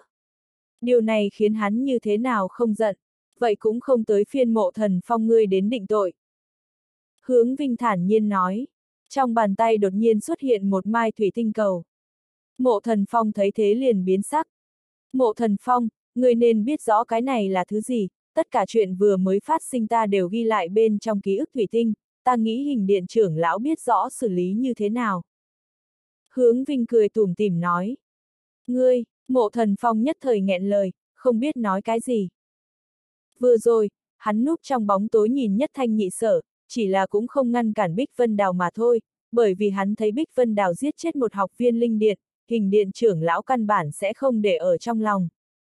Nhưng hắn nào biết rõ, Bích Vân Đào sẽ chết trong tay ảnh phong. a à, đúng rồi, bên trong ký ức thủy tinh có vẻ như còn có thân ảnh mộ thần phong ngươi, việc này có phải nói rõ mộ thần phong ngươi phóng túng học viên huyền cung hay không? Hướng Vinh lại mở miệng nói. Xem như ngươi lợi hại. Trong lòng mộ thần phong giận mắng, sắc mặt đỏ bừng. Hắn xác thực cách đó không xa, mặc dù bên trong ký ức thủy tinh không nhất định có thân ảnh hắn, nhưng nếu vạn nhất có, hình điện của trách xuống, hắn cũng sẽ không dễ chịu. Chúng ta đi. Mộ thần phong hất ống tay áo, khẽ cắn môi chuẩn bị rời đi. Mộ trưởng lão, chờ đã. Đột nhiên, nơi xa lại có một đội nhân mã đi đến, nhìn phục sức bọn hắn hẳn là người đế minh. Cầm đầu là một thanh niên hoàng kim chiến bào. Thanh niên long hành hổ bộ tản ra một cỗ uy thế ngập trời, song nghi như đao, sắc bén đến cực điểm, con người càng lộ ra một cỗ bá đạo, làm cho người ta không dám nhìn thẳng. Thiên lang, làm sao ngươi tới đây? Mộ thần phong mỉm cười, có chút ngoài ý muốn nói. Úy thiên lang, minh chủ ngoại viện đế minh. Đám người trong nháy mắt nhận ra thanh niên hoàng kim chiến bào, con người bỗng nhiên co rụt lại. Úy thiên lang, tiêu phàm khẽ nhíu mày. Nghe đồn úy thiên lang là thủ hạ đệ nhất chiến tướng của Nam Cung Thiên Giật ở ngoại viện. Thực lực hiển nhiên không thấp, bằng không mà nói, mộ thần phong cũng không có khả năng khách khí như vậy. Bên người úy thiên lang chính là úy thiên hổ, trên mặt đều là vẻ đắc ý, ngẩng cao đầu, một bộ ta đây vô địch thiên hạ. Mộ trưởng lão. Úy Thiên Lang hơi ôm quyền, sau đó nhìn về phía linh điện nói, ai là tiêu phàm, cút ra đây. Ngữ khí bá đạo vô cùng, tràn ngập không cho phép phủ định. Tiêu phàm sờ cầm một cái, bản thân gần đây có vẻ như không có chọc tới đế minh bọn hắn đi, làm còn cố ý tới tìm ta. Làm sao, giết người đế minh ta, hiện tại không dám ra sao. Con người úy thiên lang băng lãnh liếc nhìn học viên linh điện, rất nhiều người vậy mà không dám cùng hắn nhìn thẳng. Người tìm ta sao? Đúng lúc này, một thanh âm bình tĩnh bên trong xó xỉnh không thấy được truyền đến, đám người thấy thế, nhao nhao nhường ra một con đường. Không ít người ánh mắt lộ ra vẻ kinh ngạc, người này chính là tiêu phàm sao. Ngay cả người của đế minh đều dám giết, làm sao nhìn qua lại không đáng chú ý như thế này. Đại ca, chính là hắn giết người đế minh ta. Nhìn thấy tiêu phàm đi đến, úy thiên hổ vội vàng kêu lên, sát khí nặng nề. Lần trước vòng thứ ba khảo hạch bị tiêu phàm chấn nhiếp, úy thiên hổ một mực không nuốt được cục tức, mấy ngày nay hắn một mực chờ đợi đại ca úy thiên lang trở về. Không lâu sau đó, úy thiên lang về đến chiến hồn học viện, úy thiên hổ lập tức đem sự tình vài ngày trước nói cho úy thiên lang. Giết người đế minh, không biết người nói là cái nào. Tiêu phàm buồn cười nhìn úy thiên hổ, tiểu tử này thực lực bản thân không ra làm sao, ngược lại rất biết cáo mượn oai hùm. Ân, úy thiên lang lông mày nhíu lại. Hắn không nghĩ tới, một người mới lại dám cùng bản thân tùy ý nói chuyện, đang khiêu khích kiêng nhẫn của hắn sao. Trước đó giết lâm tiêu, còn đường nghiêu, về phần đám vô danh thì đếm không xuể, không biết người nói là tên nào. Tiêu phàm cười nói. Làm càn, Quý thiên lang gầm lên một tiếng, dám giết người đế minh ta, người muốn chết. a à, vừa mới mộ trưởng lão không phải nói, tại chiến hồn học viện giết người là phải bị hình điện kết tội đó, các ngươi dám ở nơi này giết người. Hình điện sẽ không bỏ qua cho các ngươi đâu. Tiêu phàm cố ý lộ ra vẻ sợ hãi. Ha ha, người hiện tại biết sợ. Chúng ta tự nhiên không được dám ở chỗ này giết người, chúng ta chỉ là đến mời ngươi cùng chúng ta đi uống chút trà mà thôi. Úy Thiên Hổ nhìn thấy tiêu phàm sợ hãi, lập tức tùy tiện cười ha ha. Ở chỗ này trắng trợn giết người, bọn hắn tự nhiên không dám, nhưng cưỡng ép đem tiêu phàm mang đi, tùy tiện tìm nơi xử lý, cho dù hình điện cũng không trách được bọn hắn. Sợ, đương nhiên sợ. Tiêu phàm sợ hãi nói. Nếu sợ, liền cùng chúng ta đi một chuyến. Úy Thiên Hổ cười gần nói, sau đó vung lên, hai tu sĩ tiến lên trực tiếp trở tay chế trụ tiêu phàm. Trong mắt ảnh phong lộ sát khí, bất quá lại bị tiêu phàm ngăn lại. Mời ta đi thì dễ, bất quá qua một lúc mời ta rời đi lại không phải dễ dàng như vậy đâu. Tiêu phàm nhìn huynh đệ úy thiên hổ cùng úy thiên lang cười nói. Rời đi, ngươi còn muốn rời đi. Ha ha, đi đế mình chúng ta uống trà, cho tới bây giờ không có ai sống sót rời đi. Úy thiên hổ không kiêng nể gì cả cười nói. Đi, úy thiên lang cau mày một cái, cảm giác tiêu phàm có chút không thích hợp, bất quá vẫn là không có ngăn cản. Hướng lão, ta đi uống trà, không cần lo lắng cho ta. Tiêu phàm cho hướng vinh một cái ánh mắt an tâm, bị người đế minh trực tiếp mang đi. Ánh mắt hướng vinh lộ ra một tia lo lắng, bất quá cuối cùng vẫn lựa chọn tin tưởng tiêu phàm. Hắn đối biết tiêu phàm cho tới bây giờ không làm những sự tình mà mình không nắm chắc.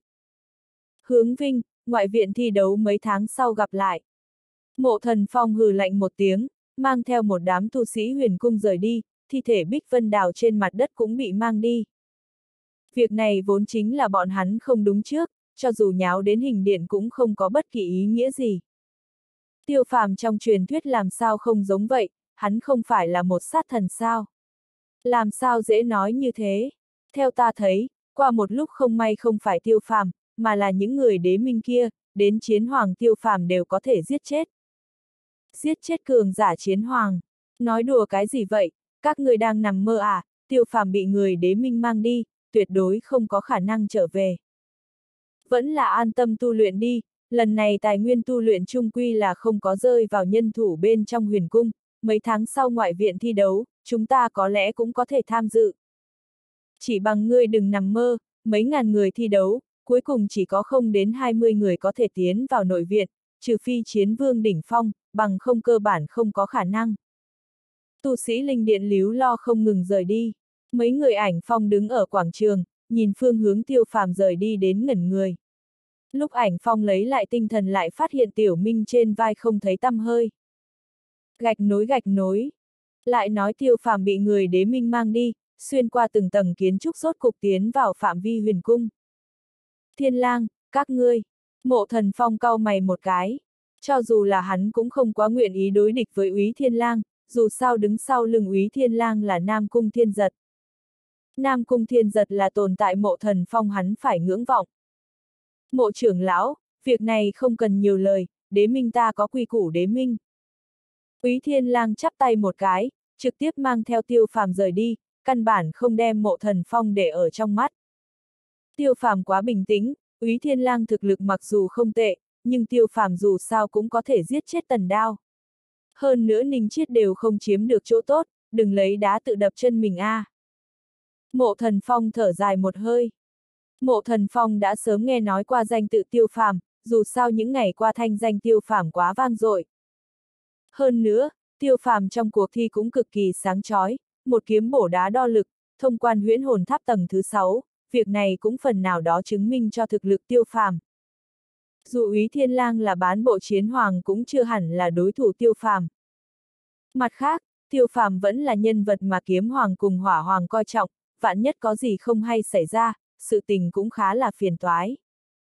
Mộ thần phong mặc dù khó chịu tiêu phàm nhưng không muốn tiêu phàm sẽ chết ở huyền cung, chỉ là nhìn thấy ánh mắt úy thiên lang băng lãnh hắn lại không dám nói gì. Huynh đệ úy thiên lang mang tiêu phàm đi vào một tòa cung điện thật lớn, cửa cung điện treo một khối bảng hiệu mạ vàng, phía trên viết hai chữ lớn ánh vàng rực rỡ, đế minh. Tiêu phàm như thế nào cũng không nghĩ đến đế minh vậy mà cường đại như thế, tại chiến hồn học viện đều có cung điện đóng quân, không hổ là ba thế lực đứng đầu chiến hồn học viện. Tiểu tử, qua một lúc xem ngươi chết như thế nào. Úy thiên hổ âm hiểm cười nói. Chẳng phải uống trà sao, còn có thể chết như thế nào. Tiêu phàm bĩu môi, một mặt nhẹ nhõm, không có bất kỳ giác ngộ của tù nhân. Con vịt chết mạnh miệng, đế minh ta một người phun một hớp nước miếng đã có thể làm ngươi chết chìm. Úy thiên hổ nghiến răng nghiến lợi, hận không thể đem tiêu phàm ăn sống nuốt tươi. Tiêu phàm hai tay chấn động, trực tiếp tránh thoát hai người trói buộc phía sau, đám người úy thiên lang tất cả đều đề phòng. Nhưng mà tiêu phàm căn bản không để ý đến, trực tiếp ngồi xuống ghế bành tại bên trong đại sảnh, cười tủm tỉm nói các ngươi không phải mời ta tới uống trà sao. Trà đâu, tiểu tử, ngươi thật đúng là muốn uống trà. Úy thiên hổ sầm mặt lại, các huynh đệ, phế hắn. Úy thiên lang đứng ở cách đó không xa nhìn không chuyển mắt, tựa như rất muốn thăm dò một chút thực lực tiêu phàm, trong lòng khẽ hơi trầm xuống một cái, có thể giết chết chiến hoàng cảnh, nghĩ cũng không yếu.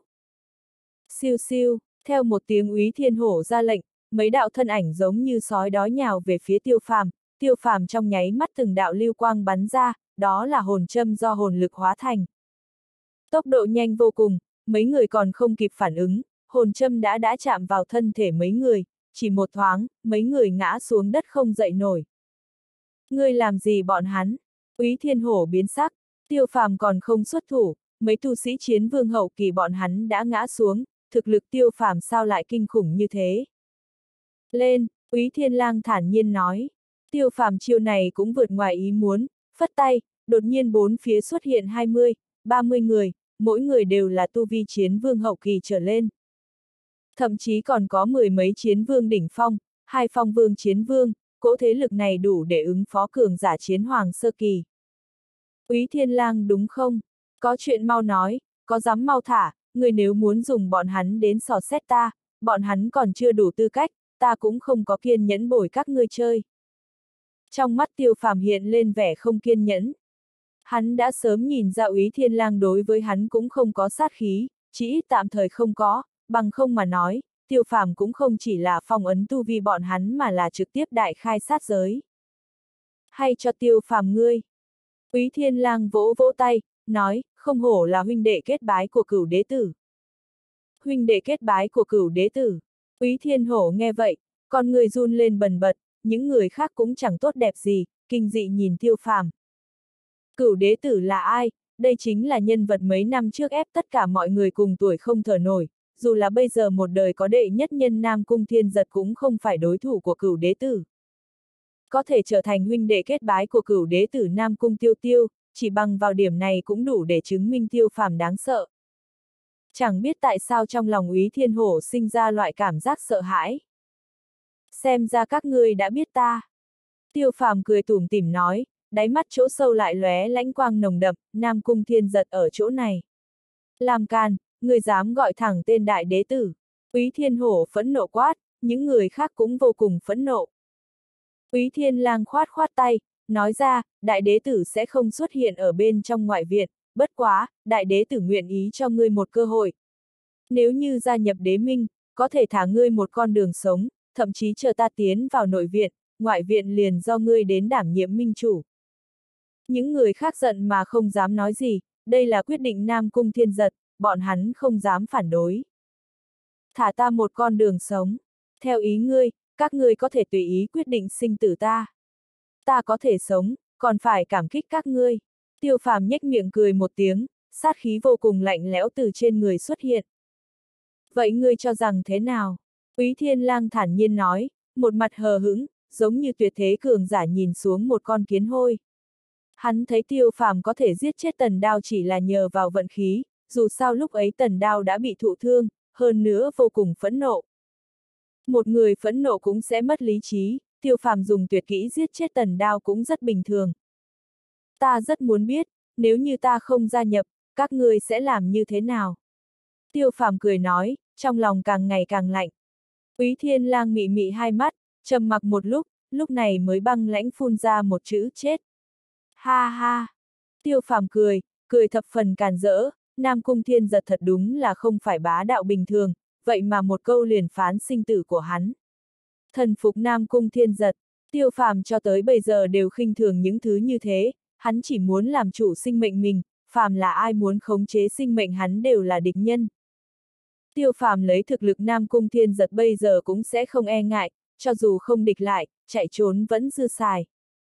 Hơn nữa, Tiêu phàm tin tưởng một ngày nào đó hắn sẽ dẫm trên đầu Nam Cung Thiên Giật, vì bàn tử Nam Cung Tiêu Tiêu báo thù, đoạt lại đồ vật đã từng là của bàn tử. Ngươi cười cái gì? Úy Thiên Lang cau mày một cái, trong lòng lại không bình tĩnh như vậy.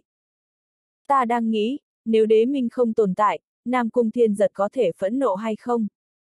Tiêu phàm cười nhạt một cái nói, con người băng lãnh liếc nhìn tứ phương như là một đầu độc xà. Toàn thân đám người úy thiên hổ khẽ run lên, bị dọa đến rút lui mấy bước. Chỉ bằng ngươi, úy thiên lang mặt coi thường, phất tay, vài luồng khí tức cường đại xông thẳng đến tiêu phàm. Trong khắp ngõ ngách đi ra chín đạo thân ảnh, trên thân mỗi người tản ra khí tức vậy mà đều là phong vương chiến vương. Đúng là để mắt tiêu phàm ta, dùng chín phong vương chiến vương đến ứng phó ta. Tiêu phàm nhếch miệng cười một tiếng, không có bất kỳ e ngại, ngược lại chiến ý giạt rào, quát lạnh nói, mệnh ta do ta, không do người, rất lâu không được chơi rồi, hôm nay vừa vặn đại khai sát giới. Gạch nối gạch nối. Tiêu phàm vừa dứt lời, tu la kiếm liền xuất hiện ở trong tay hắn, sát khí cuồn cuộn nở rộ, bên trong đại điện một mảnh khắc nghiệt, những tu sĩ cấp thấp không khỏi có chút tim mật phát lạnh. Vẻn vẹn phóng thích sát khí liền đáng sợ như thế, vậy thực lực chân chính của hắn thì sao? Tiêu phàm, ta cho ngươi một cơ hội cuối cùng, thần phục hoặc là chết. Trong lòng úy thiên lang cũng hơi kinh hãi, thực lực tiêu phàm so với hắn tưởng tượng còn mạnh hơn. Ôn ào, tiêu phàm lạnh lùng cười một tiếng, thân hình đột nhiên biến mất tại chỗ, lúc xuất hiện lần nữa đã là trước người úy thiên lang, dù là úy thiên lang cũng không thấy rõ ràng tiêu phàm xuất thủ như thế nào.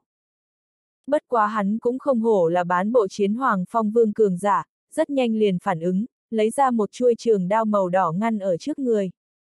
Úy Thiên Lang cấp tốc thối lui, tránh thoát một kích tất sát, dù vậy một đạo kiếm khí sắc bén cắt vỡ khuôn mặt hắn, cắt đứt dây cột tóc của hắn. Ngươi muốn, vậy liền thành toàn ngươi. Úy Thiên Lang sờ sờ vết kiếm trên mặt, nhìn máu tươi trong tay, lập tức phẫn nộ gầm thét lên.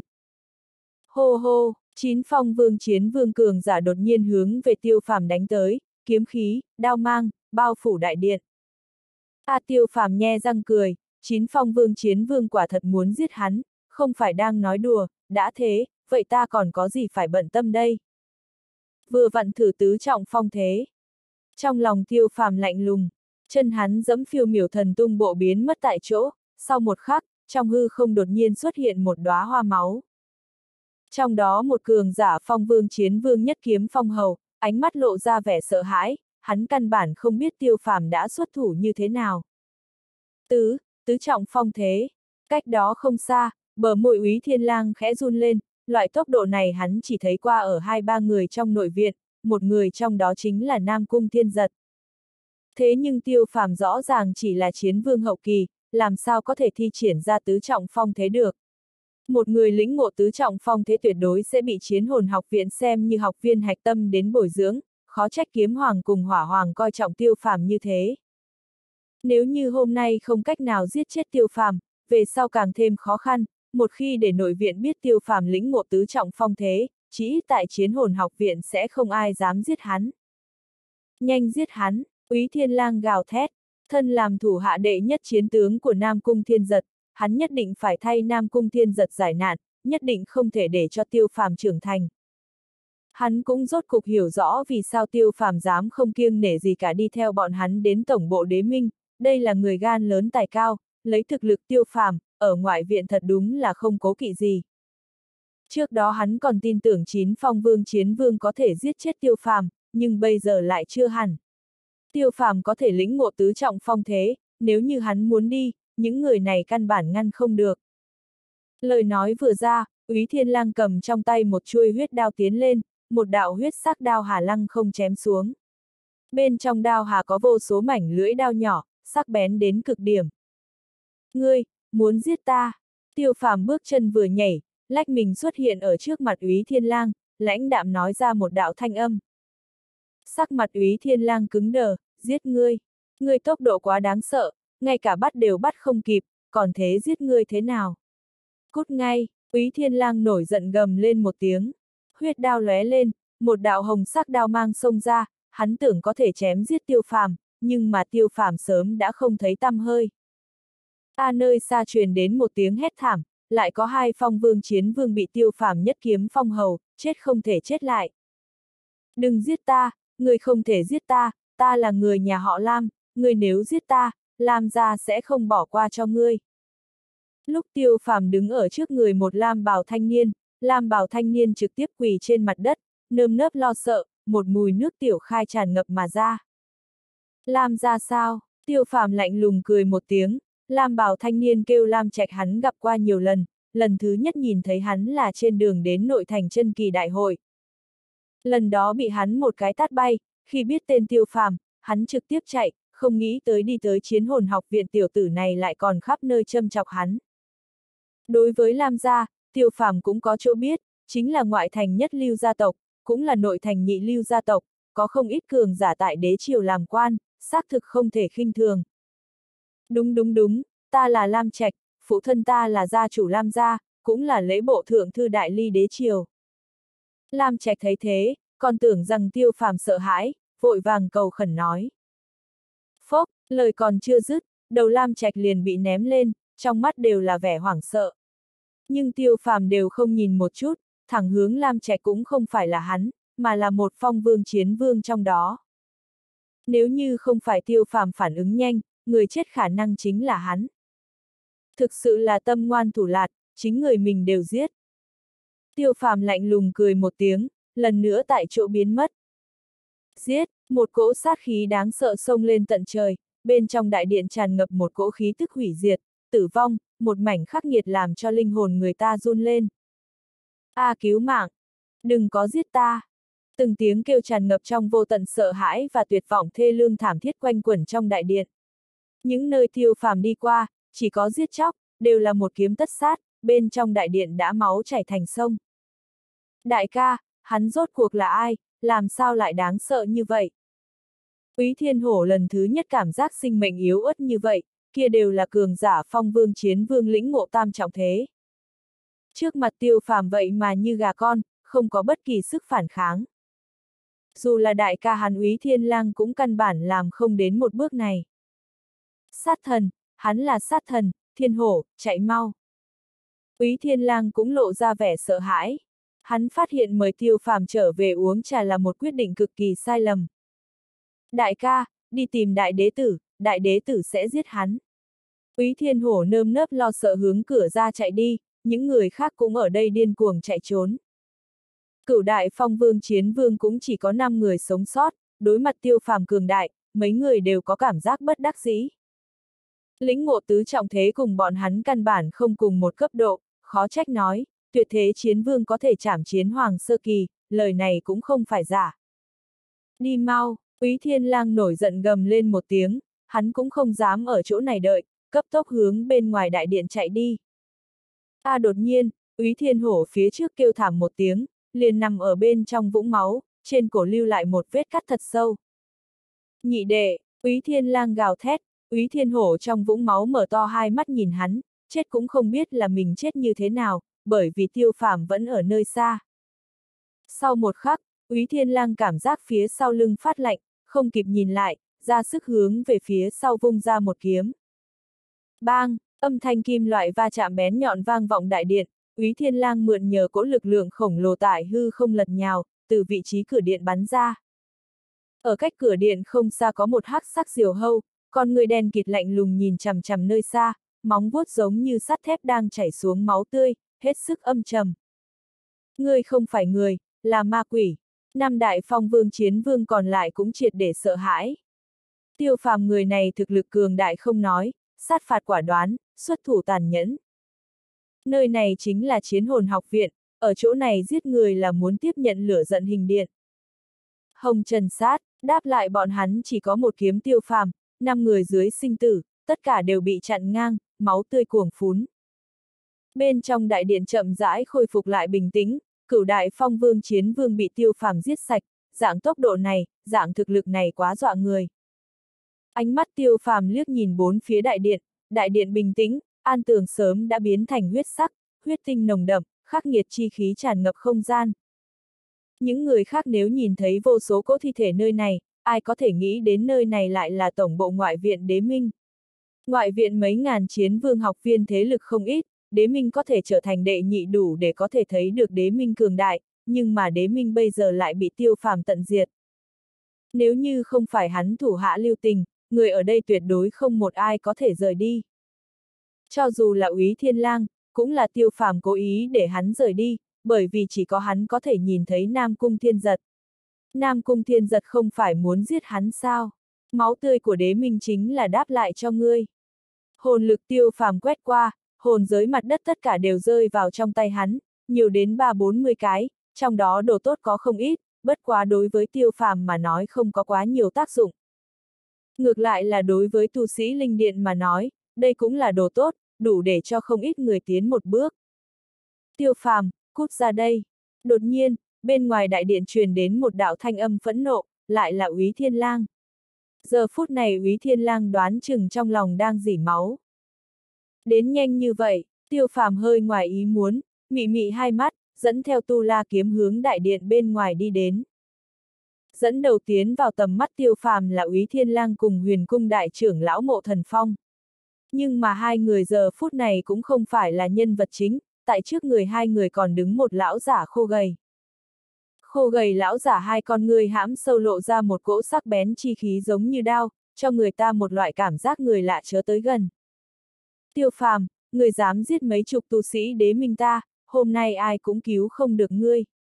Sắc mặt úy thiên lang trắng bệch, hắn danh xưng thủ hạ đệ nhất chiến tướng của Nam Cung Thiên Giật. Hôm nay đế minh đều không gánh nổi, đã mất mặt trước Nam Cung Thiên Giật. Nếu như không nghĩ cách giết chết tiêu phàm, người chết kế tiếp, khả năng chính là úy thiên lang hắn. Hắn biết Nam Cung Thiên Giật, đối với người vô dụng cho tới bây giờ đều là một cước đá văng. Giết thì như thế nào? Kẻ giết người vĩnh viễn phải giết, người đế minh ngươi nếu không giết ta, chẳng lẽ ta còn đứng ở đó để các ngươi giết sao? Buồn cười, tiêu phàm lạnh lùng cười một tiếng. Hiện tại ngươi giết người, ngươi còn cãi lý. Mộ thần phong phẫn nộ quát. Hồn lực quét qua lập tức phát hiện tình huống bên trong đại điện, đây chính là ba bốn mươi cái chiến vương cảnh đó, hơn nữa còn có mấy tên phong vương chiến vương, vậy mà tất cả đều bị tiêu phàm giết. Kẻ này nếu không chết rất có thể là Giang Thiên Vũ kế tiếp, lần tiếp theo không may chính là huyền cung. Mộ thần phong không muốn huyền cung biến thành linh điện như bây giờ. Người cầm miệng cho ta. Tiêu phàm nâng trường kiếm, nhìn hầm hầm mộ thần phong. Tu sĩ bốn phía kinh ngạc nhìn tiêu phàm, tiểu tử ngươi gan to bằng trời à, cũng dám nói chuyện như thế với mộ thần phong, nhất định chính là tự tìm tới cái chết. Cho dù mộ thần phong không đối phó ngươi, lão đầu bên cạnh kia là hình điện trưởng lão, hắn một câu liền có thể quyết định ngươi sống hay chết. Nghe nói như thế, mộ thần phong không những không giận mà còn cười, nhưng trong lòng thì băng lãnh tới cực điểm, lạnh giọng nói, lần này không chơi chết tiểu tử ngươi, ta không phải họ mộ. Tại chiến hồn học viện giết người, ngươi chẳng những không nhận sai, còn quát lớn trưởng lão, có biết tội không? Khô gầy lão giả rốt cục nói chuyện, trong giọng nói mang theo một tia uy nghiêm. Có tội gì? Tiêu phàm lạnh lùng cười nói, vừa rồi bọn hắn muốn giết ta, ngươi ở đâu? Sự thật bày ở trước mắt, bản trưởng lão chỉ nhìn chứng cứ, thi thể đầy đất chính là chứng cứ, ngươi còn có cái gì để nói? Khô gầy lão giả quát lớn. Mộ thần phong cùng người đế minh hại ta, về phần chứng cứ, có hay không thì có ý nghĩa gì? Chẳng lẽ ta lấy ra chứng cứ ngươi sẽ đứng ở bên ta? Tiêu phàm mặt coi thường, muốn nói chứng cứ, hắn trên người là có, chẳng qua là cảm thấy cầm ra không có bất kỳ ý nghĩa gì. Mộ thần phong biết hắn sẽ bị đế minh giết chết, không phải là tùy ý để úy thiên lang mang đi sao. Nếu như bản thân thực lực yếu, hiện tại đã sớm là một bộ thi thể băng lãnh. Hình điện trưởng lão ai biết rõ là gì, vạn nhất là cùng ý thiên lang rắn chuột một ổ thì sao? Bản thân đem chứng cứ lấy ra, bọn hắn lại hủy diệt, đến lúc đó liền thực sự khó lòng giải bày. Bản trưởng lão thân làm hình điện trưởng lão, tự nhiên đặt ở công bằng. Khô gầy lão giả tức giận nói, ngươi nếu không có chứng cứ, bản trưởng lão liền dẫn ngươi về hình điện chịu phạt. Nghiêm trưởng lão, kẻ này giết 38 người huyền cung, hung tàn thành tính, nên xử tử tại chỗ.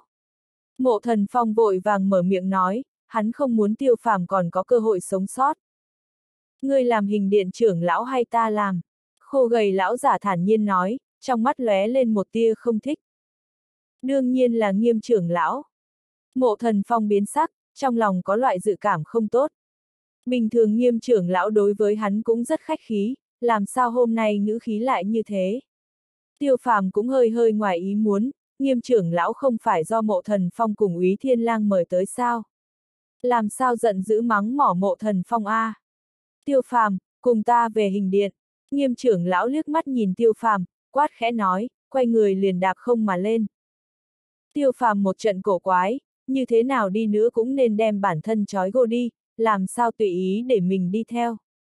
Vạn nhất mình thừa dịp nhiều người, chạy trốn thì sao? Vâng, nghiêm trưởng lão. Tiêu phàm hít sâu một hơi vẫn theo nghiêm trưởng lão rời đi. Cùng nghiêm trưởng lão duy trì khoảng cách nhất định, trong lòng đề phòng tới cực điểm.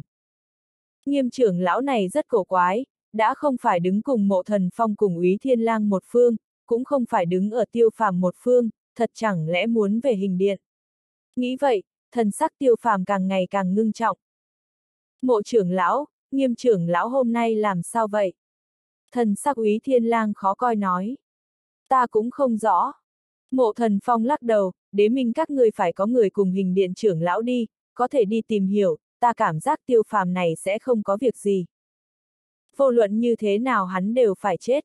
Vừa nghĩ tới tiêu phàm giết thân đệ đệ úy thiên hổ, úy thiên lang liền sát khí trùng thiên. Lại nói hình điện trưởng lão mang theo tiêu phàm rời huyền cung, quỷ dị là cũng không hề rời chiến hồn học viện, mà là tiến vào một mảnh u tĩnh trúc viên trong chiến hồn học viện.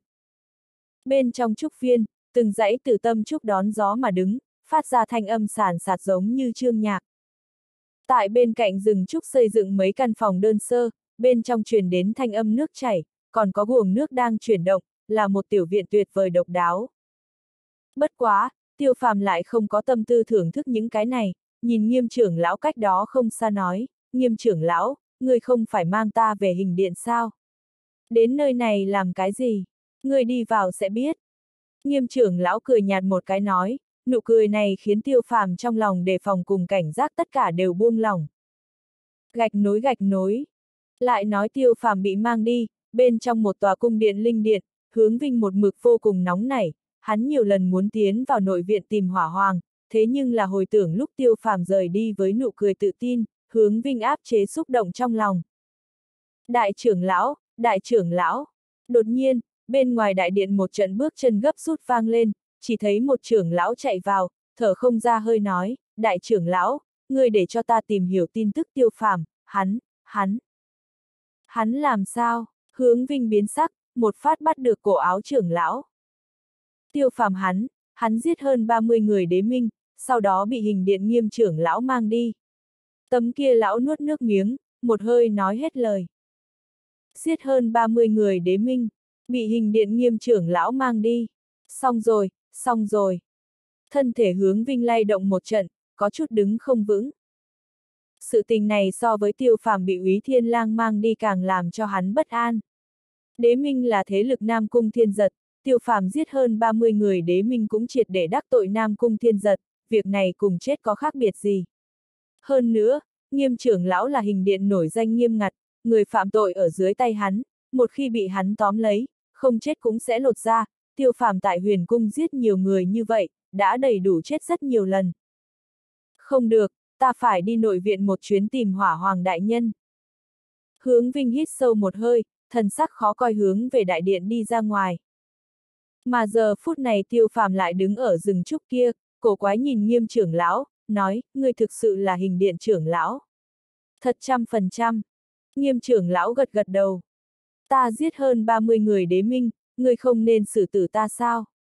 Tiêu phàm cau mày một cái, nghiêm trưởng lão khiến hắn có chút nhìn không thấu. Vào đi. Đúng lúc này, một đạo thanh âm khàn khàn từ bên trong tiểu viện truyền đến.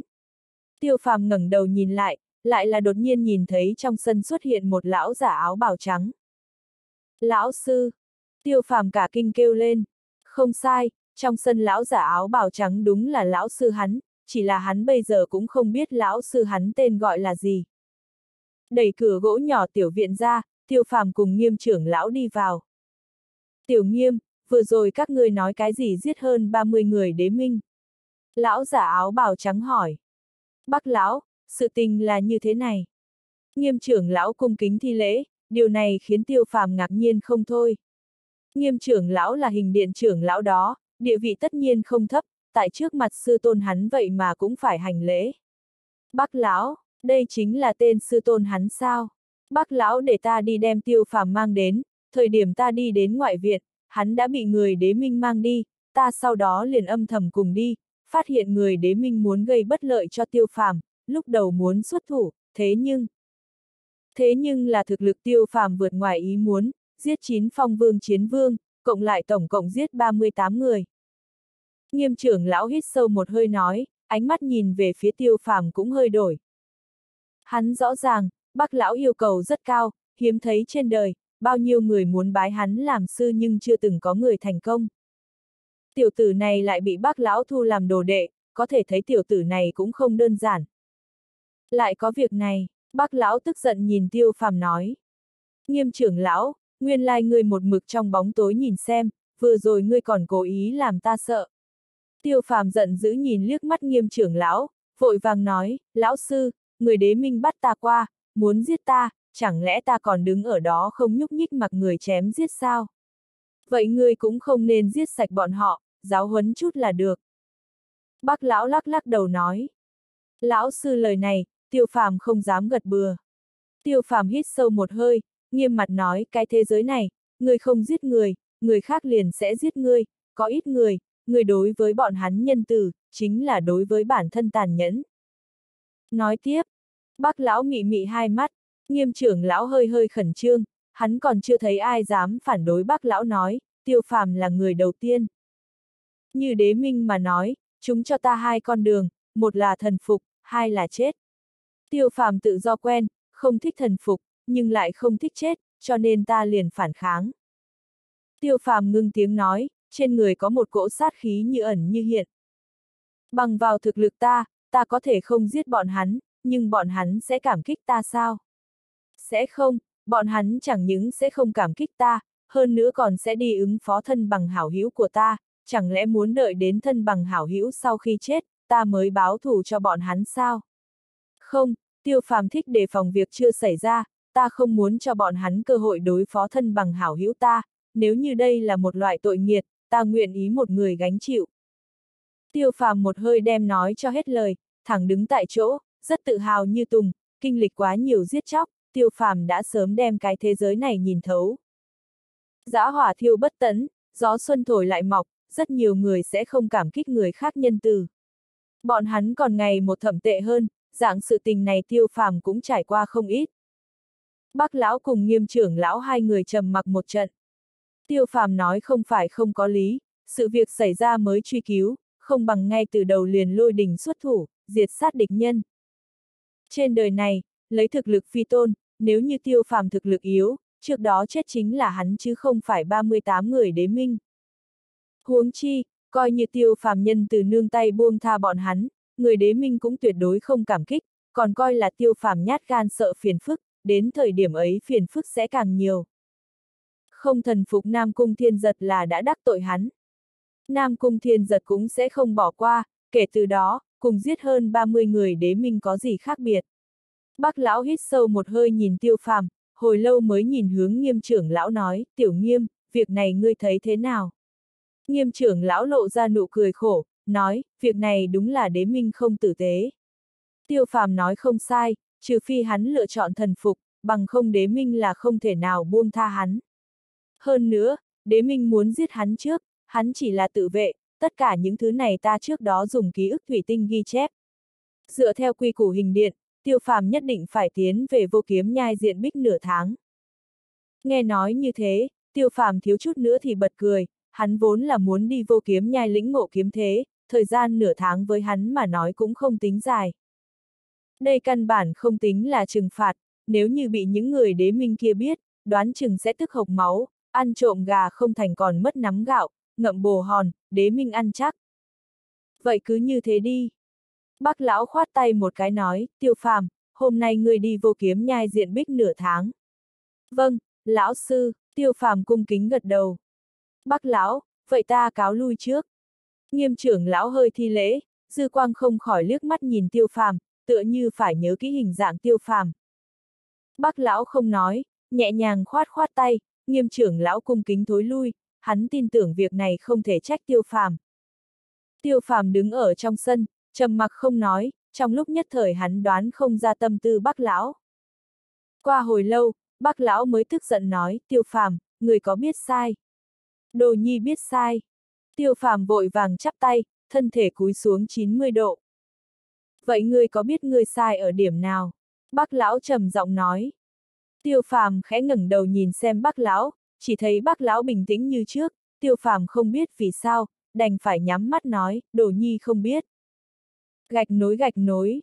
Không biết, vậy ngươi vì sao biết tội? Bác lão bị tiêu phàm làm cho tức điên, nỗi lòng bình tĩnh nhiều năm bị tiêu phàm đánh vỡ, hắn không biết nói tiểu tử này thế nào, nếu là lấy tính tình bác lão trước kia, đã sớm đánh một trận tơi bời. Nếu như nói đầu nhi làm sai, chính là không nên khiêu khích Nam Cung Thiên Giật, bằng vào thực lực ta còn không phải đối thủ Nam Cung Thiên Giật. Tiêu phàm hít sâu khẩu khí nói.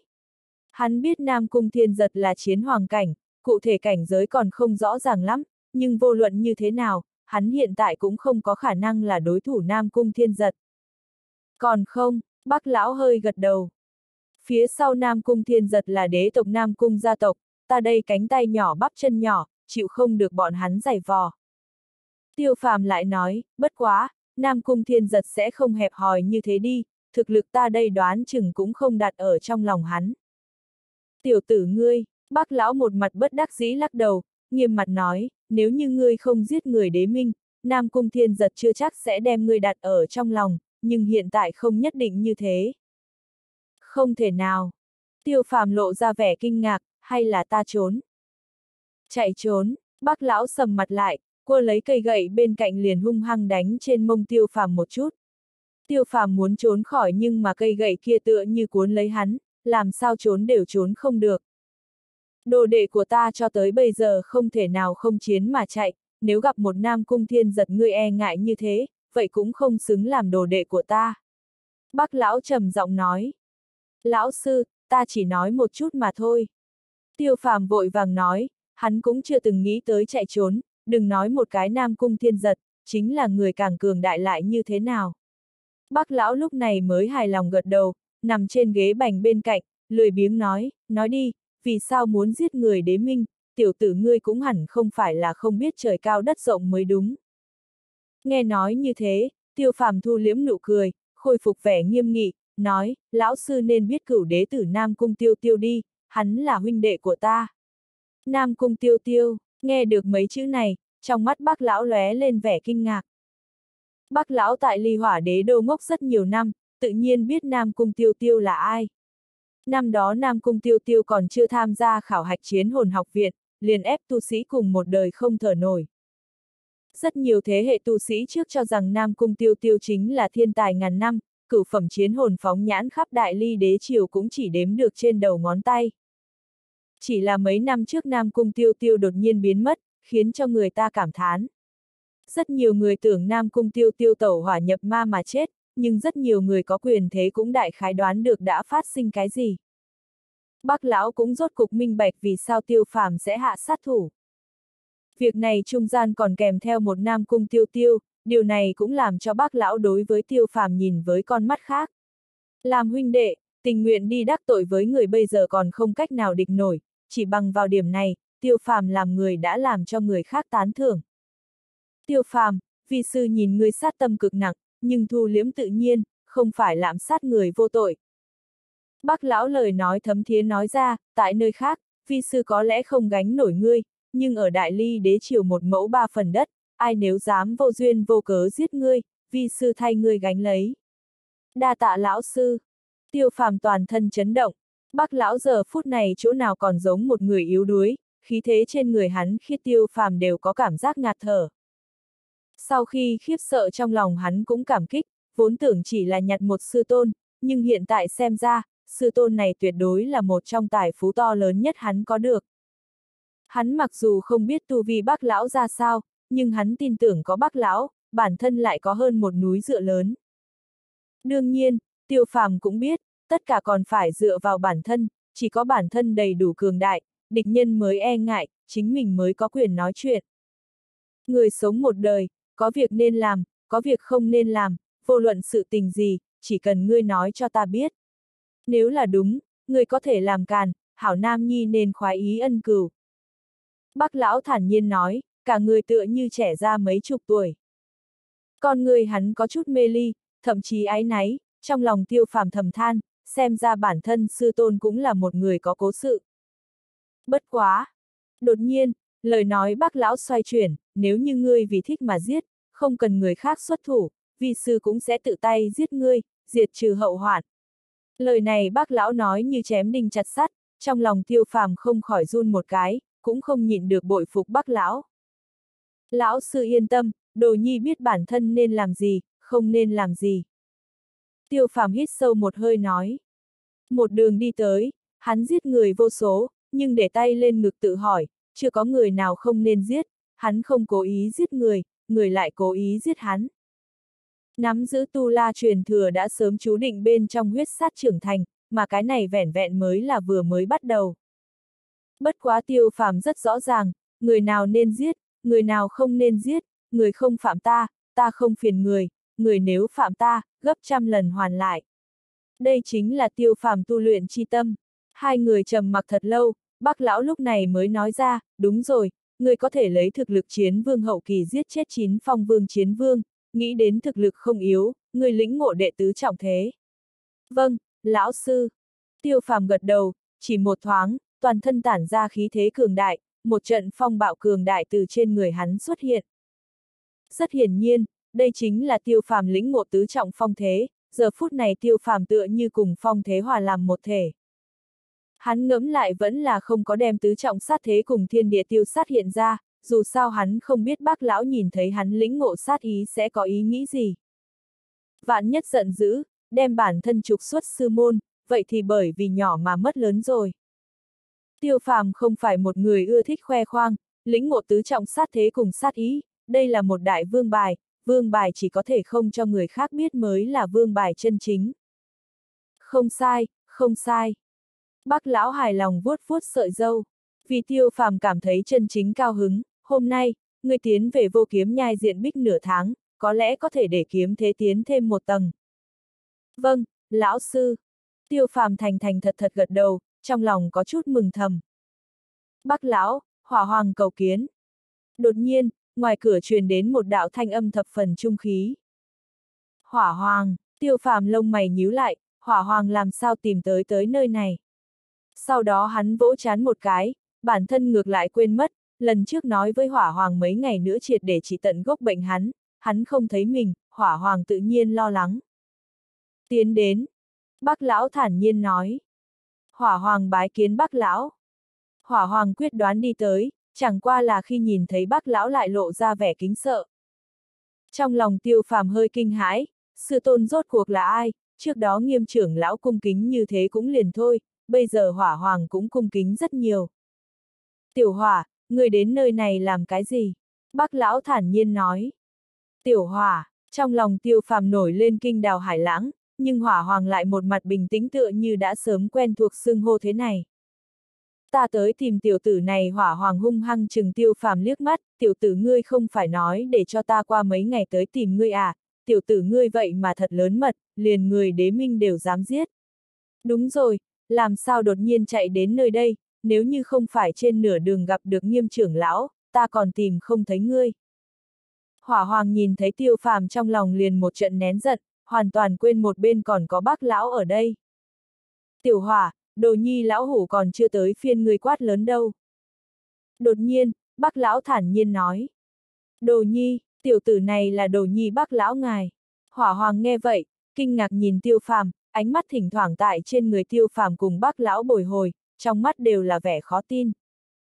Cũng khó trách hắn khiếp sợ như vậy, năm đó hắn gia nhập chiến hồn học viện đã từng muốn tới bái bác lão làm sư, nhưng lại bị bác lão trực tiếp cự tuyệt.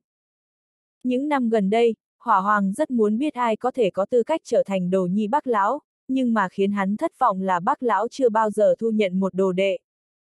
Thẳng đến hiện tại hắn nghe được bác lão chính miệng thừa nhận tiêu phàm là đồ đệ, chẳng lẽ lão tử so ra kém tiêu phàm tiểu tử này sao?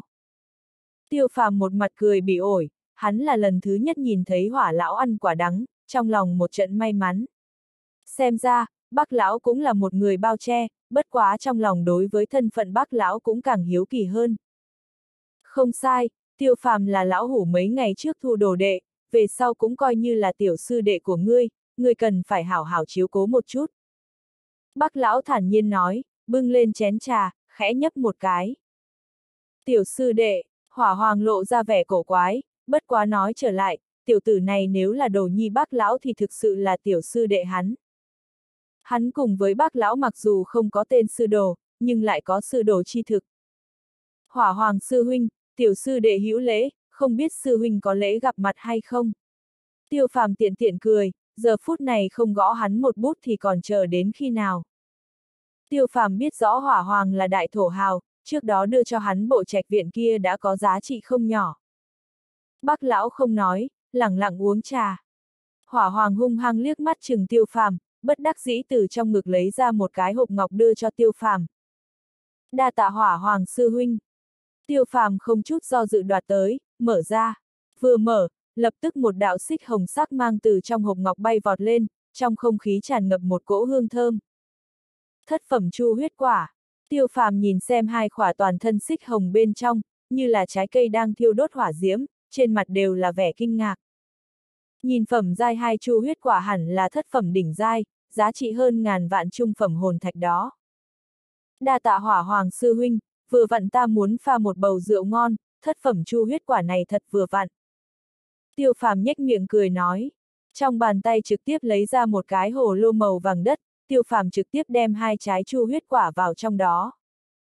Ngươi lấy hồ lô rượu từ nơi nào?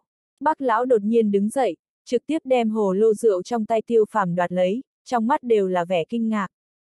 Tiêu phàm cùng hỏa hoàng kinh ngạc nhìn bác lão, bình thường bác lão gặp bất luận sự tình gì đều là mặt không đổi sắc, làm sao hôm nay lại kích động như vậy.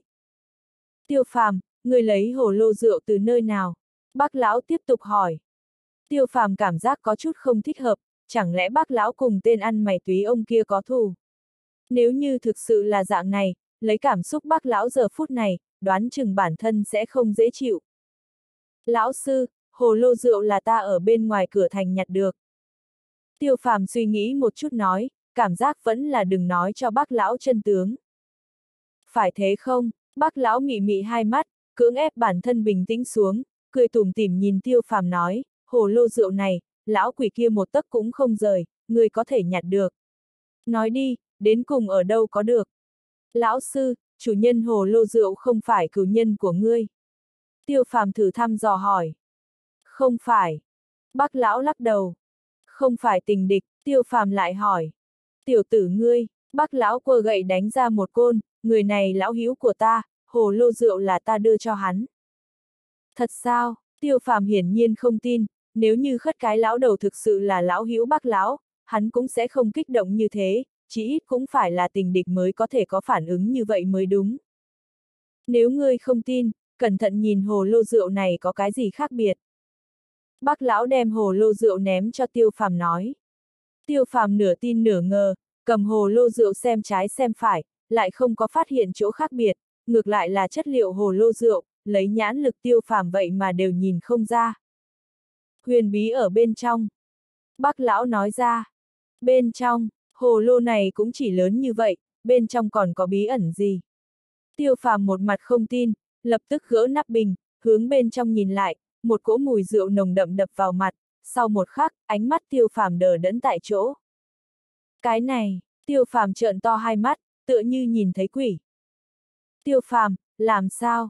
Hỏa hoàng nghi ngờ nói, đi đến bên cạnh tiêu phàm cầm lấy hồ lô rượu bắt đầu đánh giá, chẳng qua là khi hắn nhìn thấy trong hồ lô rượu, hỏa hoàng cũng không bình tĩnh, kinh ngạc nói cái hồ lô rượu nho nhỏ này lại là một kiện hồn binh bất phàm.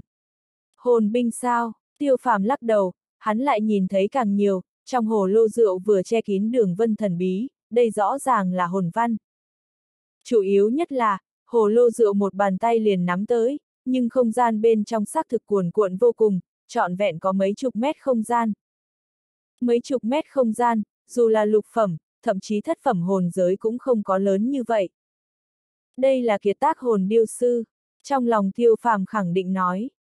Chỉ là nhớ tới lời nói khất cái lão đầu túy ông, khóe miệng tiêu phàm giật một cái, lão gia hỏa kia liền để mình nâng cốc đổ đầy hồ lô này, việc này cần bao nhiêu rượu đây?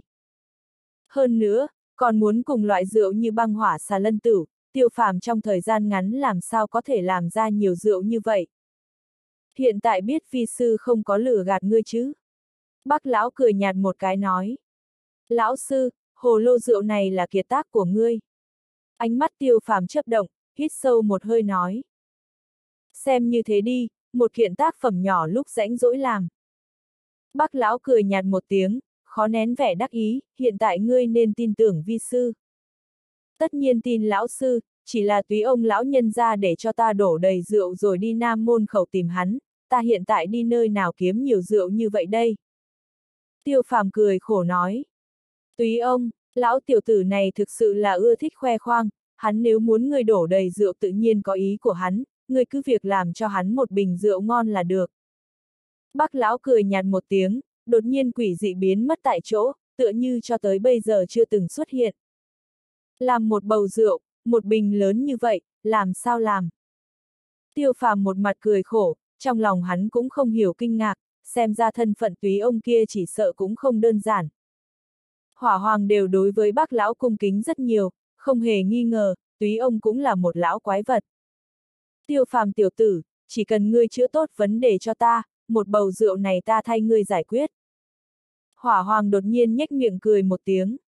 Thực, ánh mắt tiêu phàm sáng lên, đối với hắn mà nói, làm đầy hồ lô rượu rất khó, nhưng đối với hỏa hoàng mà nói lại không khó. Thực, hỏa hoàng gật đầu, chỉ cần có thể chữa cho tốt vấn đề của hắn, làm một chút thiên tài địa bảo còn không dễ dàng sao. Chỉ bằng câu nói này, ta dốc hết toàn lực cũng phải làm cho ngươi đột phá chiến đế cảnh. Tiêu phàm vỗ vỗ bả vai hỏa hoàng nói. Chiến đế, con người hỏa hoàng co rụt lại, toàn thân run lẩy bẩy. Dừng lại nhiều năm như vậy, đột phá gông cùng xiềng xích chiến hoàng, bước vào chiến đế cảnh giới, hỏa hoàng nằm mơ cũng đều đang nghĩ, bây giờ tiêu phàm nói như vậy khiến hỏa hoàng như thế nào không kích động. Ta chỉ là cho ngươi một cơ hội, về phần có thể lĩnh ngộ ý chí hay không, liền dựa vào chính ngươi rồi. Tiêu phàm cười gật đầu nói. Gạch nối gạch nối. Đêm đó, bác lão cho tiêu phàm trong sân chữa bệnh cho hỏa hoàng, bệnh của hỏa hoàng đã sớm giải quyết không sai biệt lắm, chỉ là tiêu phàm cố ý kéo dài mà thôi. Hôm nay, Hỏa hoàng hứa hẹn nguyện ý làm đầy cho hắn một bầu rượu, tiêu phàm tự nhiên không còn bảo lưu. Vẻn vẹn ba canh giờ, hỏa độc cùng hàn độc bên trong hỏa hoàng tất cả đều bị rút ra không còn. Hỏa hoàng cảm giác toàn thân sảng khoái, bốn phía thiên địa linh khí cuồn cuộn mà vào. Trong sân nhấc lên một trận gió lốc, mảng lớn cây trúc bị thổi ngã, tiểu viện nhỏ cũng kinh hô hủy diệt. Hỏa hoàng sư huynh, người tốt nhất đem tiểu viện này trở lại như cũ, bằng không, ha ha. Tiêu phàm để lại một câu nói liền rời tiểu viện. Hỏa hoàng mắt nhìn tiểu viện bừa bộn, trong lòng nổi giận mắng, tiểu tử này cố ý hãm hại ta. Bất quá thật đúng là phải cảm tạ hắn, ta sớm đã đụng chạm đến một tia ý chí, lập tức trở về mới được. Nơi này mấy ngày nữa lại đến cùng bác lão bồi tội. Mặc dù bị tiêu phàm hãm hại nhưng hỏa hoàng lại không tức giận nổi. Hắn nhiều năm gông cùng xiềng xích có loại cảm giác muốn xuyên phá, ẩn ẩn có loại xu thế muốn đột phá chiến đế cảnh. Một khi trở thành chiến đế, phóng nhãn khắp đại ly đế triều cũng tuyệt đối có thể đếm được trên đầu ngón tay. Tiêu phàm rời tiểu viện, chạy thẳng tới linh điện. Bên trong một tòa cung điện, hướng vinh đi qua đi lại, trên mặt đều là vẻ lo lắng, trước đó hắn tiến về nội viện tìm kiếm hỏa hoàng, nhưng mà căn bản không nhìn thấy bóng dáng hỏa hoàng. Tiêu phàm bị nghiêm trưởng lão mang đi lâu như vậy, ai biết rõ sẽ xảy ra chuyện gì. Nghiêm trưởng lão nổi danh nghiêm khắc, hắn có thể sẽ không bận tâm thân phận cùng thiên phú tiêu phàm, chỉ cần tiêu phàm phạm sai lầm, nhất định sẽ bị trọng phạt. Tiêu phàm giết 38 học viên đế minh, việc này sớm đã oanh động chiến hồn học viện, tất cả mọi người đang chờ tin chết của tiêu phàm. Không được, ta phải nghĩ trăm phương ngàn kế đi hình điện một chuyến, nhất định thay tiêu phàm cầu tình, lấy thiên phú của hắn không nên chết ở chỗ này, cho dù là bỏ qua thân phận đại trưởng lão cũng phải giúp tiêu phàm không chết. Hướng Vinh hít sâu một hơi, tựa như ra quyết định. Hướng lão, đang suy nghĩ gì đấy? Đột nhiên, cửa ra vào truyền đến một đạo thanh âm. Ai, hướng Vinh đang giận ngập đầu, nào có ngữ khí tốt, chẳng qua là khi hắn nhìn thấy thân ảnh kia ở cửa ra vào, trong nháy mắt ngốc trệ, run giọng nói, tiêu phàm. Không phải ta thì còn là ai? Tiêu phàm cổ quái nhìn hướng Vinh, nhưng trong lòng thì hơi hơi cảm động, những lời hướng Vinh trước đó hắn đều nghe được. Ngươi không có việc gì. Hướng Vinh bước xa đi tới trước mặt tiêu phàm, cẩn thận đánh giá tiêu phàm, lại không có phát hiện bất luận bộ dáng bị thụ thương. Hắn không phải là bị nghiêm trưởng lão mang đi à, làm sao có thể không chút tổn hao nào. Ngươi nhìn ta giống có việc sao? Tiêu phàm cười ha ha. Không giống. Hướng Vinh không chút nghĩ ngợi nói, nghiêm trưởng lão như thế nào dễ nói. Tại sao không có làm khó ngươi? Tiêu phàm giết ba mười tám người đế minh đó, làm sao có thể hoàn hảo không chút tổn hại trở về. Cho dù không chết cũng phải bị lột ra đi, tiêu phàm lại là một trận phong khinh vân đạm, chỗ nào giống như bị nghiêm trưởng lão mang đi. Nghiêm trưởng lão làm người ngay thẳng, bởi vì người đế minh ra tay giết ta trước, hắn sớm đã trong bóng tối nhìn thấy tất cả những thứ này, cho nên ta liền vô tội phóng thích. Tiêu phàm hời hợt nói. Khóe miệng hướng vinh giật một cái, mặc dù tiêu phàm nói nhẹ nhàng linh hoạt, nhưng hắn biết sự tình khẳng định không có đơn giản như vậy.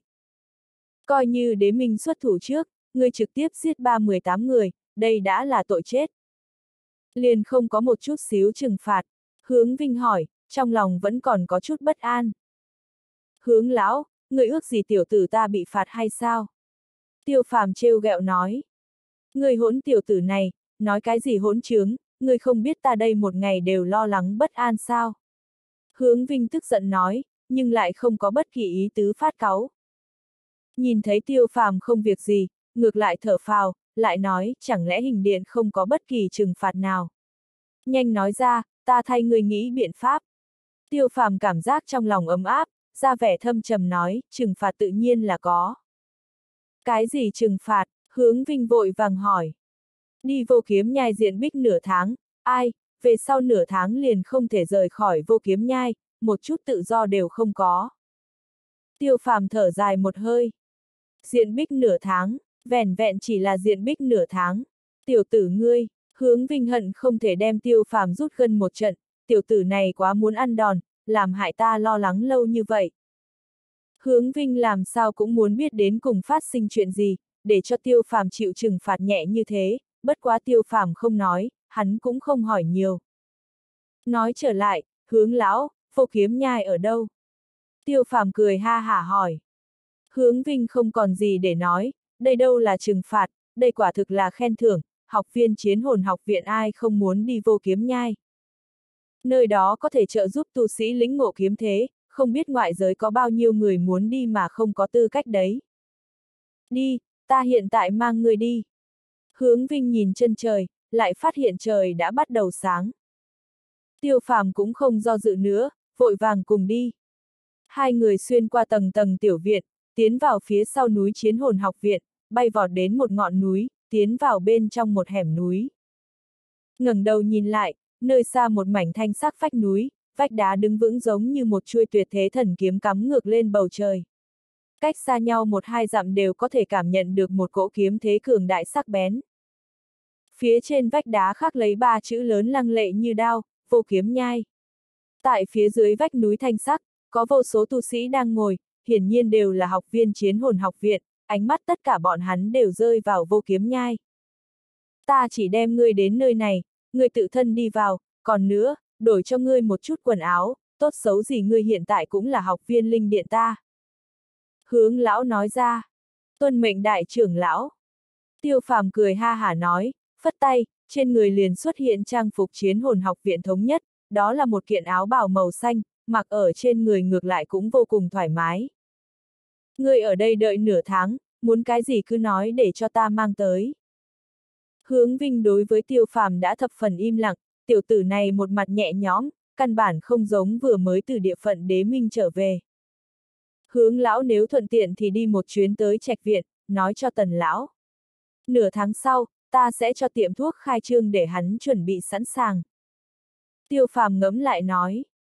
Hắn nói như vậy chủ yếu nhất cũng không phải là vì sự tình tiệm thuốc khai trương mà là miễn cho tần mặc cùng tiểu kim bọn hắn lo lắng. Được, ta tự sẽ đến. Hướng lão gật đầu, hắn ước gì tiêu phàm thiếu tình người khác, mà tình người này là dễ kiếm nhất, chỉ bất quá mang một câu mà thôi. Mặt khác, phiền phức thay ta cha một chút, tôn nữ tần lão, tần mộng điệp ở đâu, nếu là tại linh điện mà nói, phiền phức hướng lão chiếu cố một chút. Tiêu phàm lại nói. Hướng Vinh hiểu ý cười một tiếng, sau khi hắn nghe được câu tiếp theo của tiêu phàm thì sắc mặt cứng đờ. Tốt xấu ta cũng là sư huynh gia gia nàng, nàng cũng phải gọi ta một tiếng sư tổ nha. Tiêu phàm để lại một câu nói, liền hướng lấy vô kiếm nhai bay đi. Hướng Vinh một mặt bất đắc dĩ, hắn phát hiện thật có chút nhìn không thấu tiêu phàm, nhìn qua bóng lưng tiêu phàm trong miệng lẩm bẩm nói, chiến vương hậu kỳ có thể chém giết phong vương chiến vương, hơn nữa còn là thất phẩm luyện dược sư, người như thế nào mới có thể bồi dưỡng được dạng thiên tài này đây? Hít sâu một hơi, hướng vinh rời khỏi vô kiếm nhai. Gạch nối gạch nối. Tiêu phàm rất nhanh đi tới dốc đá phía dưới, khoảng cách dốc đá chỉ có chừng 100 mét mới chính thức thấy rõ vô kiếm nhai là vật gì. Dốc đá cao đến trên trăm trượng lại là một chỉnh thể, trơn nhẵn như gương, vách đá tựa như bị một người một kiếm chặt đứt. Vách đá hùng vĩ to lớn, tản ra một cỗ khí thức cổ xưa mênh mông. Phía trên vách đá có một loại ba động sắc bén lưu chuyển, nhìn kỹ lúc này mới phát hiện, ba động sắc bén là một đám vòng xoáy phong nhận nhỏ. Rời vách đá chừng 2 mét, vòng xoáy nhỏ đột nhiên hóa thành một trận gió tiêu tán trên không trung, tựa như cho tới bây giờ chưa từng xuất hiện. ngẩng đầu nhìn lên tựa như toàn bộ vách đá màu xanh đập vào mặt, một loại khí thức nặng nề ép tiêu phàm có chút khó thở. Một người liền có thể nhìn ra vô kiếm nhai không đơn giản, nhưng khiến hắn rất ngạc nhiên là ở bên trên vô kiếm nhai căn bản không cảm nhận được bất luận kiếm thế gì. Cũng may xung quanh hoang thạch bia tản ra một cỗ phong chi khí nên hắn rất nhanh mới lĩnh ngộ phong thế. Xem ra ta vẫn quá tự đại, cũng không phải mỗi địa phương đều có thể như hoang thạch bia. Trong lòng tiêu phàm cười khổ một tiếng, chậm rãi hướng phía trước đi đến. Hô, đúng lúc này, một đạo khí thế bàng bạc từ phía trước phóng lên tận trời, tu sĩ bốn phía thấy thế liền nhao nhao thối lui ra xa. Tam trọng kiếm thế, rốt cuộc lại có người lĩnh ngộ tam trọng kiếm thế. Ai, người so với người làm ta tức chết, ta ở nơi này nửa năm còn chưa lĩnh ngộ tam trọng kiếm thế, xem ra cả đời này cũng chỉ có thể dừng bước tại chiến vương đỉnh phong. Không nên tức giận, lĩnh ngộ kiếm thế cũng không phải là con đường đột phá duy nhất, vạn nhất một ngày kia cơ duyên xảo hợp lĩnh ngộ kiếm ý thì sao, như thế nhất cử liền có thể đột phá chiến hoàng cảnh. Không sai, các ngươi cũng không nghĩ người đột phá là ai, đó là ninh gia tiểu thiên tài ninh giang. Nghe nói thiên phú hắn còn trên ninh chiết, tại ninh gia là thiên kiêu của ninh xuyên. Trách không được, nghe nói ninh xuyên cũng rất coi trọng hắn, thường xuyên chỉ điểm cho hắn.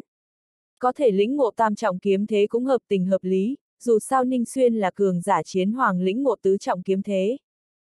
Đám người kinh ngạc thở dài một trận, sự hâm mộ càng nhiều. Ninh Giang có một gia thế tốt, bọn hắn đây không phải có thể so.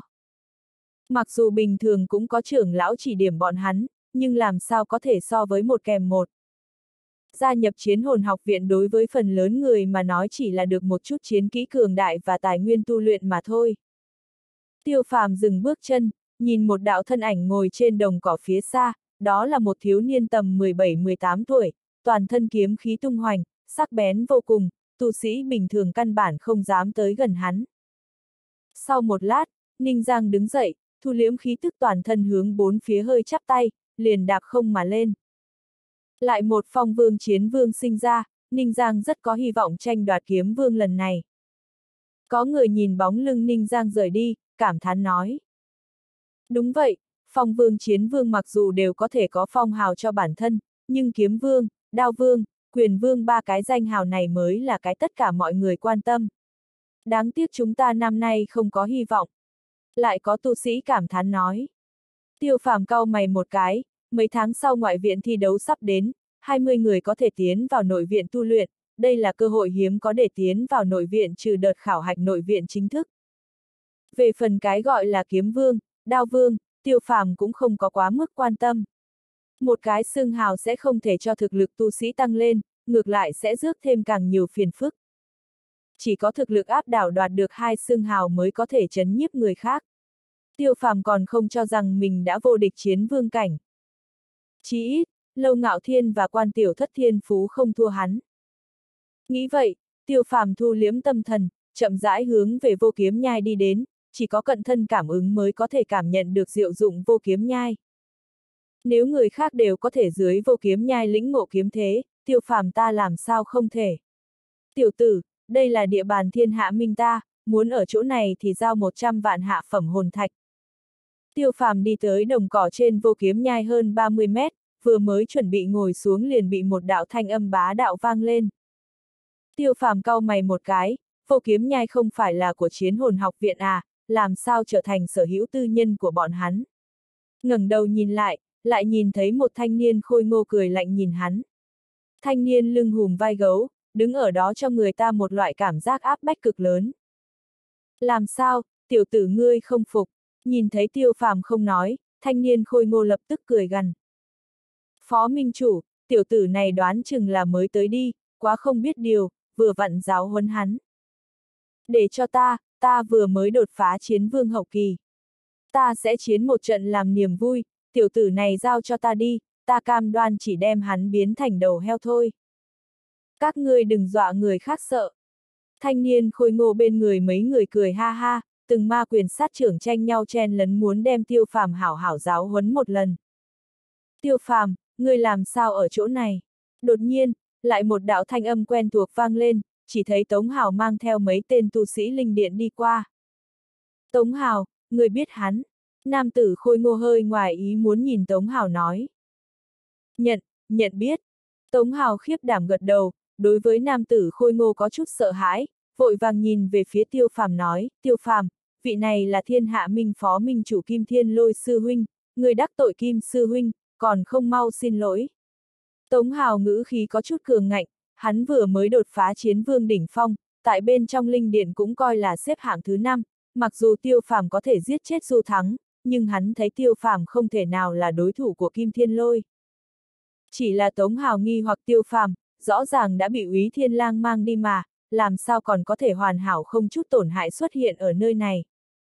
Tống Hào căn bản không biết sự tình tiêu phàm giết chết 318 học viên đế minh. Bởi vì sự tình ảnh hưởng quá lớn, mộ thần phong hạ lệnh ngậm miệng, tự nhiên không có truyền về linh điện. Dù sao đây chính là sỉ nhục huyền cung, đế minh cửu đại phong vương chiến vương bị một học viên mới của linh điện giết. Nhìn thấy hướng vinh bộ dáng khúm núm, tiêu phàm khó chịu trong lòng, hắn rốt cục biết rõ vì sao linh điện yếu như vậy. Những người này tham sống sợ chết, không có chút tôn nghiêm, chính mình còn xem thường mình thì làm sao có thể vượt huyền cung. Ngươi nhìn thất thần cái gì, còn không hướng Kim Sư Huynh xin lỗi. Tống Hào thấy tiêu phàm thờ ơ, lập tức phẫn nộ quát, một bộ cao cao tại thượng.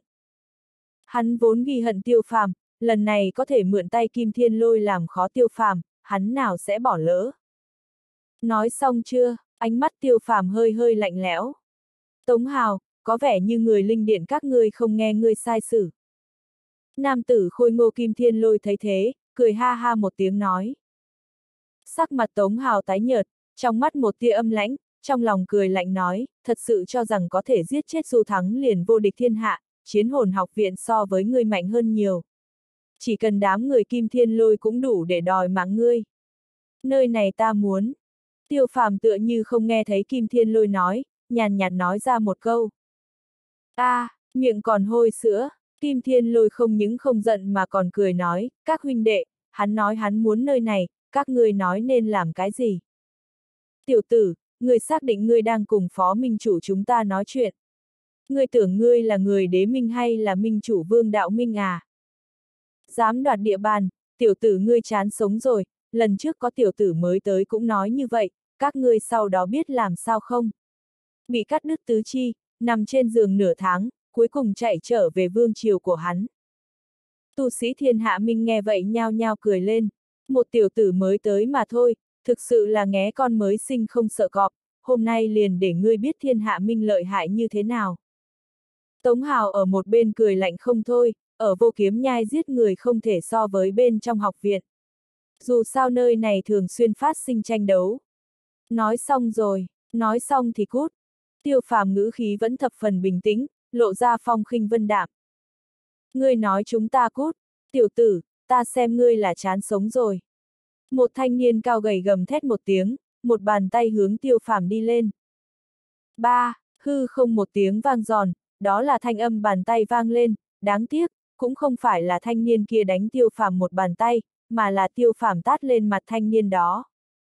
Thanh niên cao gầy như đạn pháo bay ngược ra, đập ầm ầm 3-40 mét trên đồng cỏ, trượt 10 mét mới dừng lại.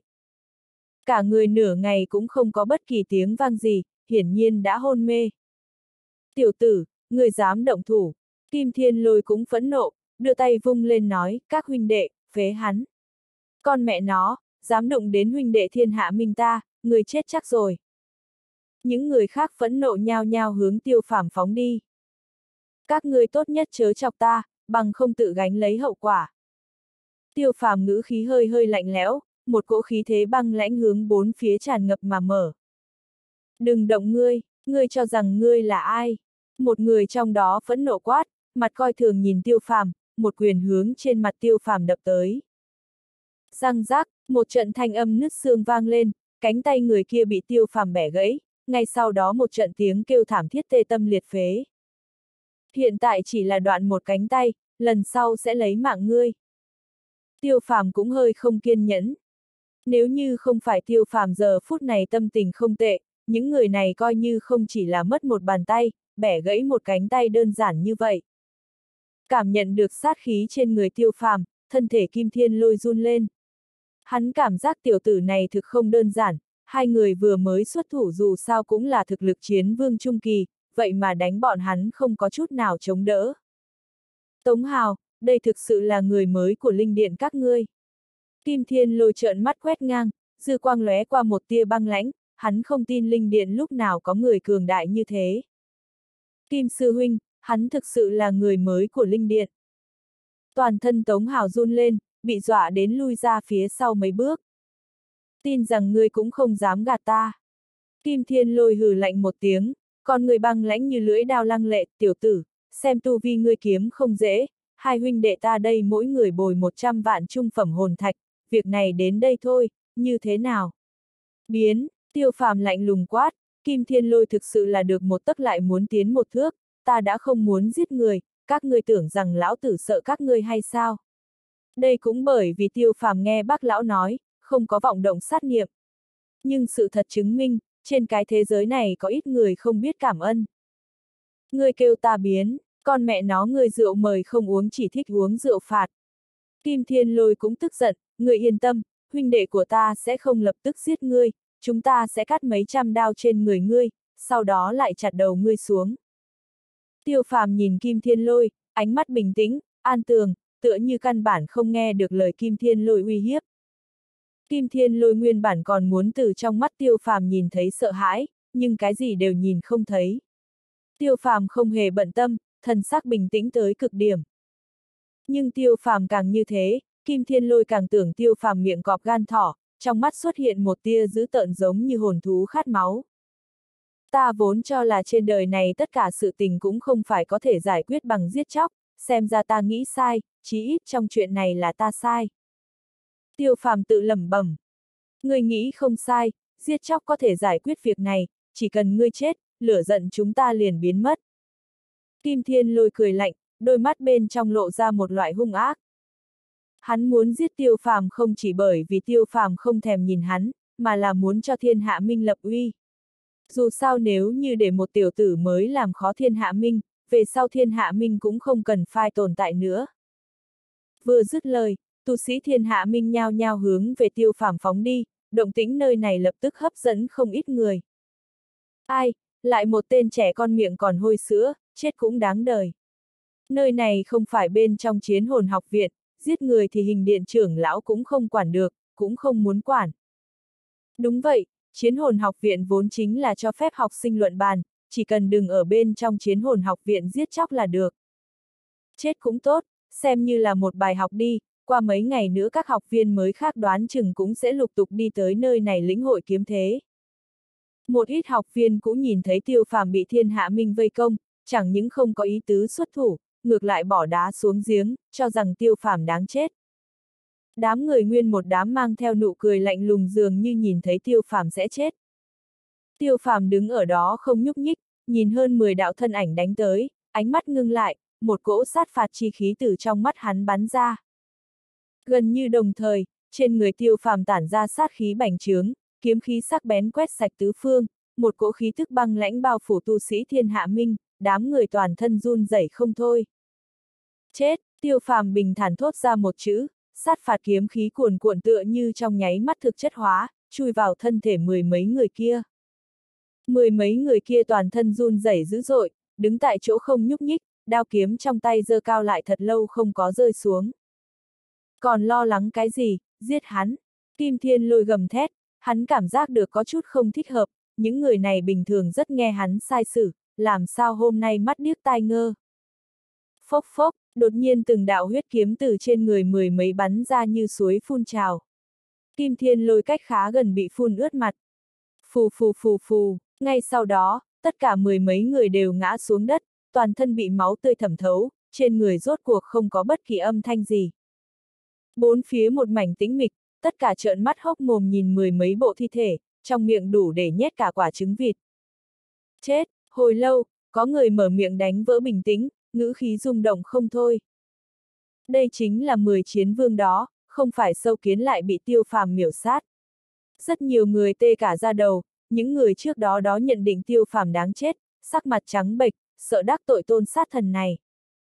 Đúng như lời bọn hắn nói, ở vô kiếm nhai này bị người giết chết, hình điện căn bản không quản, bởi vì nơi này vốn cho phép tu sĩ luận bàn, tử thương là không thể tránh được. Kim Thiên lôi nơm nớp lo sợ đứng tại chỗ, cho dù là hắn cũng bị sát khí trên người tiêu phàm làm cho chấn kinh. Hắn mặc dù là phong vương chiến vương nhưng lại không làm được một bước này, miểu sát 10 chiến vương. Tống hào ngốc trệ tại chỗ, toàn thân run rẩy, mặt xám như cho. Mọi người rốt cục nhớ tới tiêu phàm trước đó nói câu kia, các người tốt nhất chớ chọc ta, bằng không tự gánh lấy hậu quả. Tử vong, đây chính là hậu quả khi chọc vào hắn sao. Toàn trường câm như hến, cây kim rơi cũng có thể nghe thấy tiếng, người thiên hạ minh bị dọa đến hốt hoảng rút lui. Còn người kim thiên lôi gắt gao nhìn chằm chằm tiêu phàm, tựa như muốn đem tiêu phàm hoàn toàn nhìn thấu. Một người mới vậy mà chỉ dựa vào kiếm khí phát ra trên người liền có thể miểu sát mười mấy người, đây là hạng cường đại gì? Sắc mặt tu sĩ bốn phía vô cùng trầm trọng, trên người tiêu phàm phát ra sát khí khiến bọn hắn có loại cảm giác như rớt vào hầm băng, toàn thân phát lạnh. Tiểu tử, người dám giết người thiên hạ minh ta, người đúng là chán sống rồi. Kim Thiên lôi giận tím mặt, Hắn một chút cũng không thấy rõ ràng tình thế, trong tay cầm một chuôi kim sắc kiếm lớn hướng tiêu phàm đánh tới.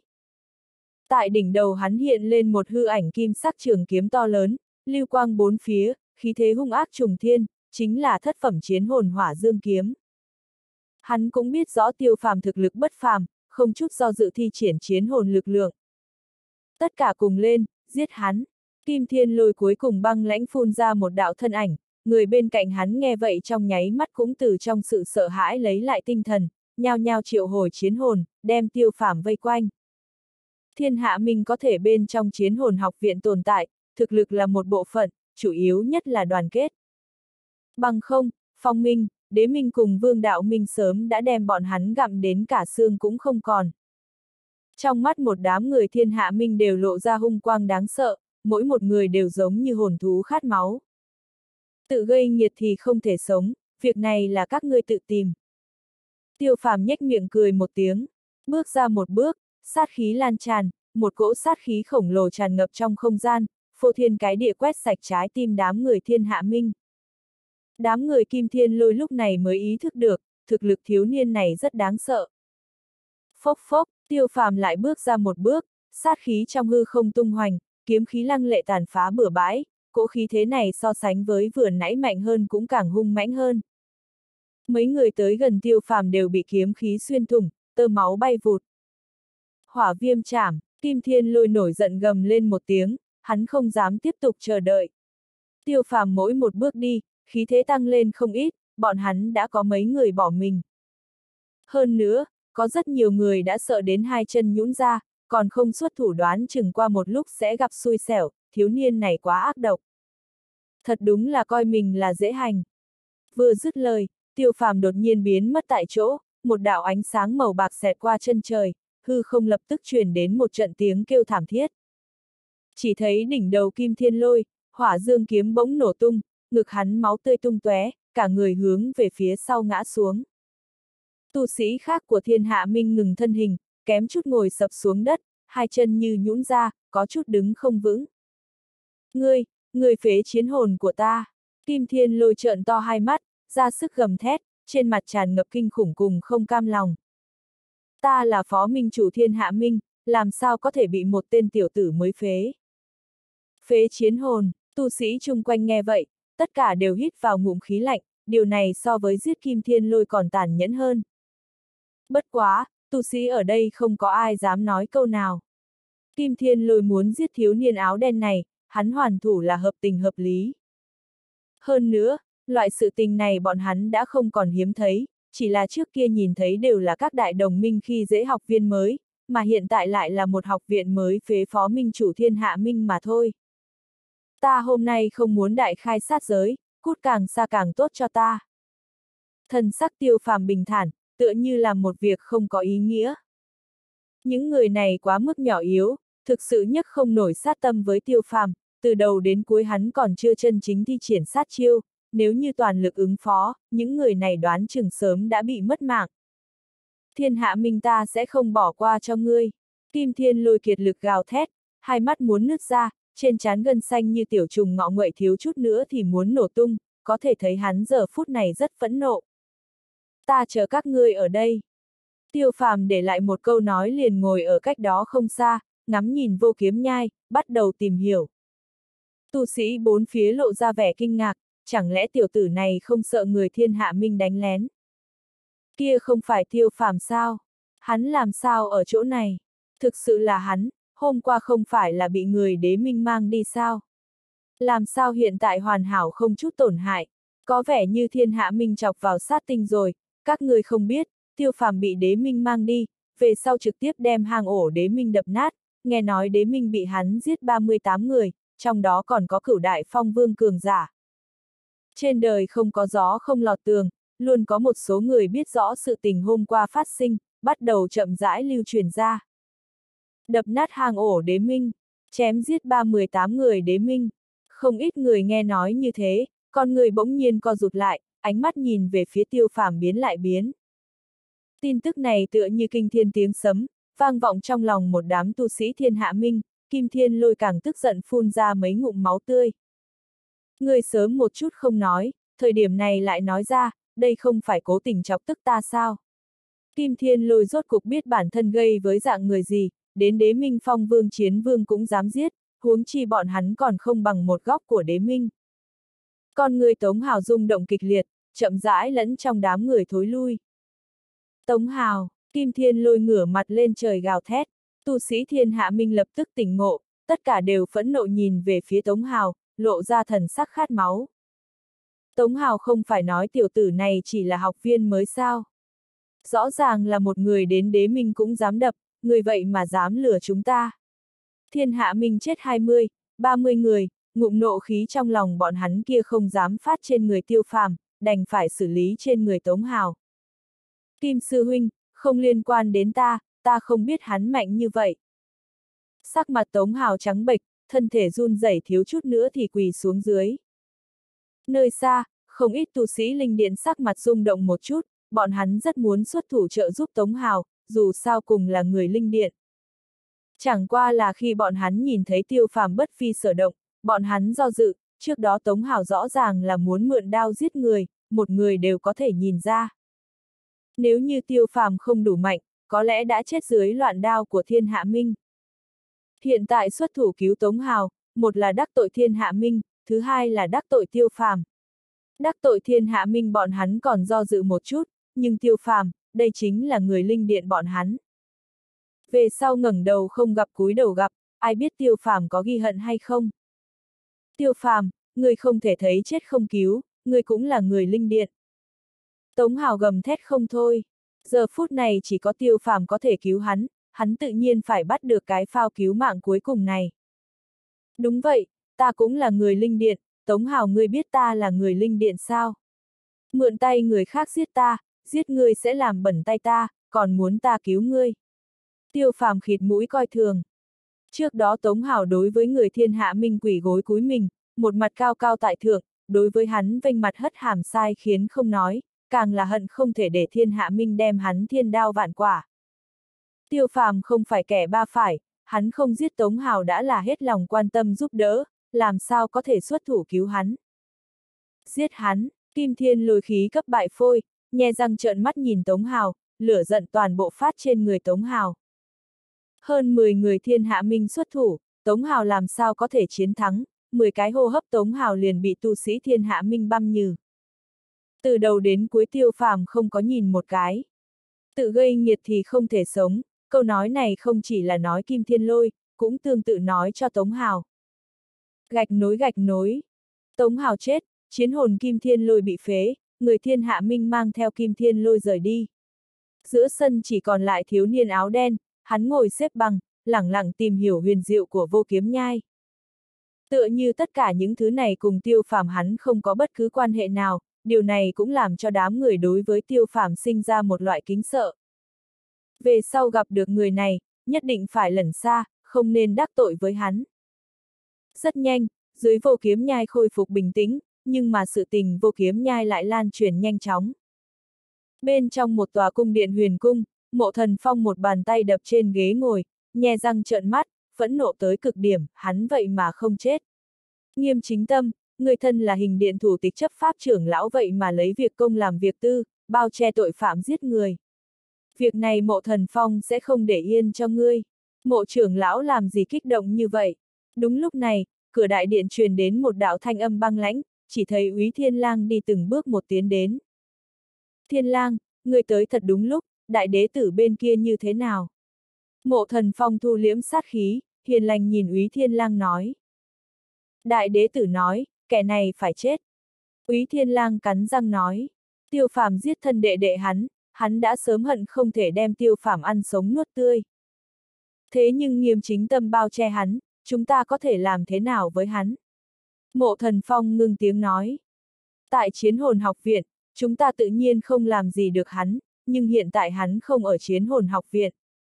Úy thiên lang con người vô cùng băng lãnh, ngay một canh giờ trước, tiêu phàm tại vô kiếm nhai giết hơn 10 người thiên hạ minh, hiện tại hắn vẫn chưa rời đi.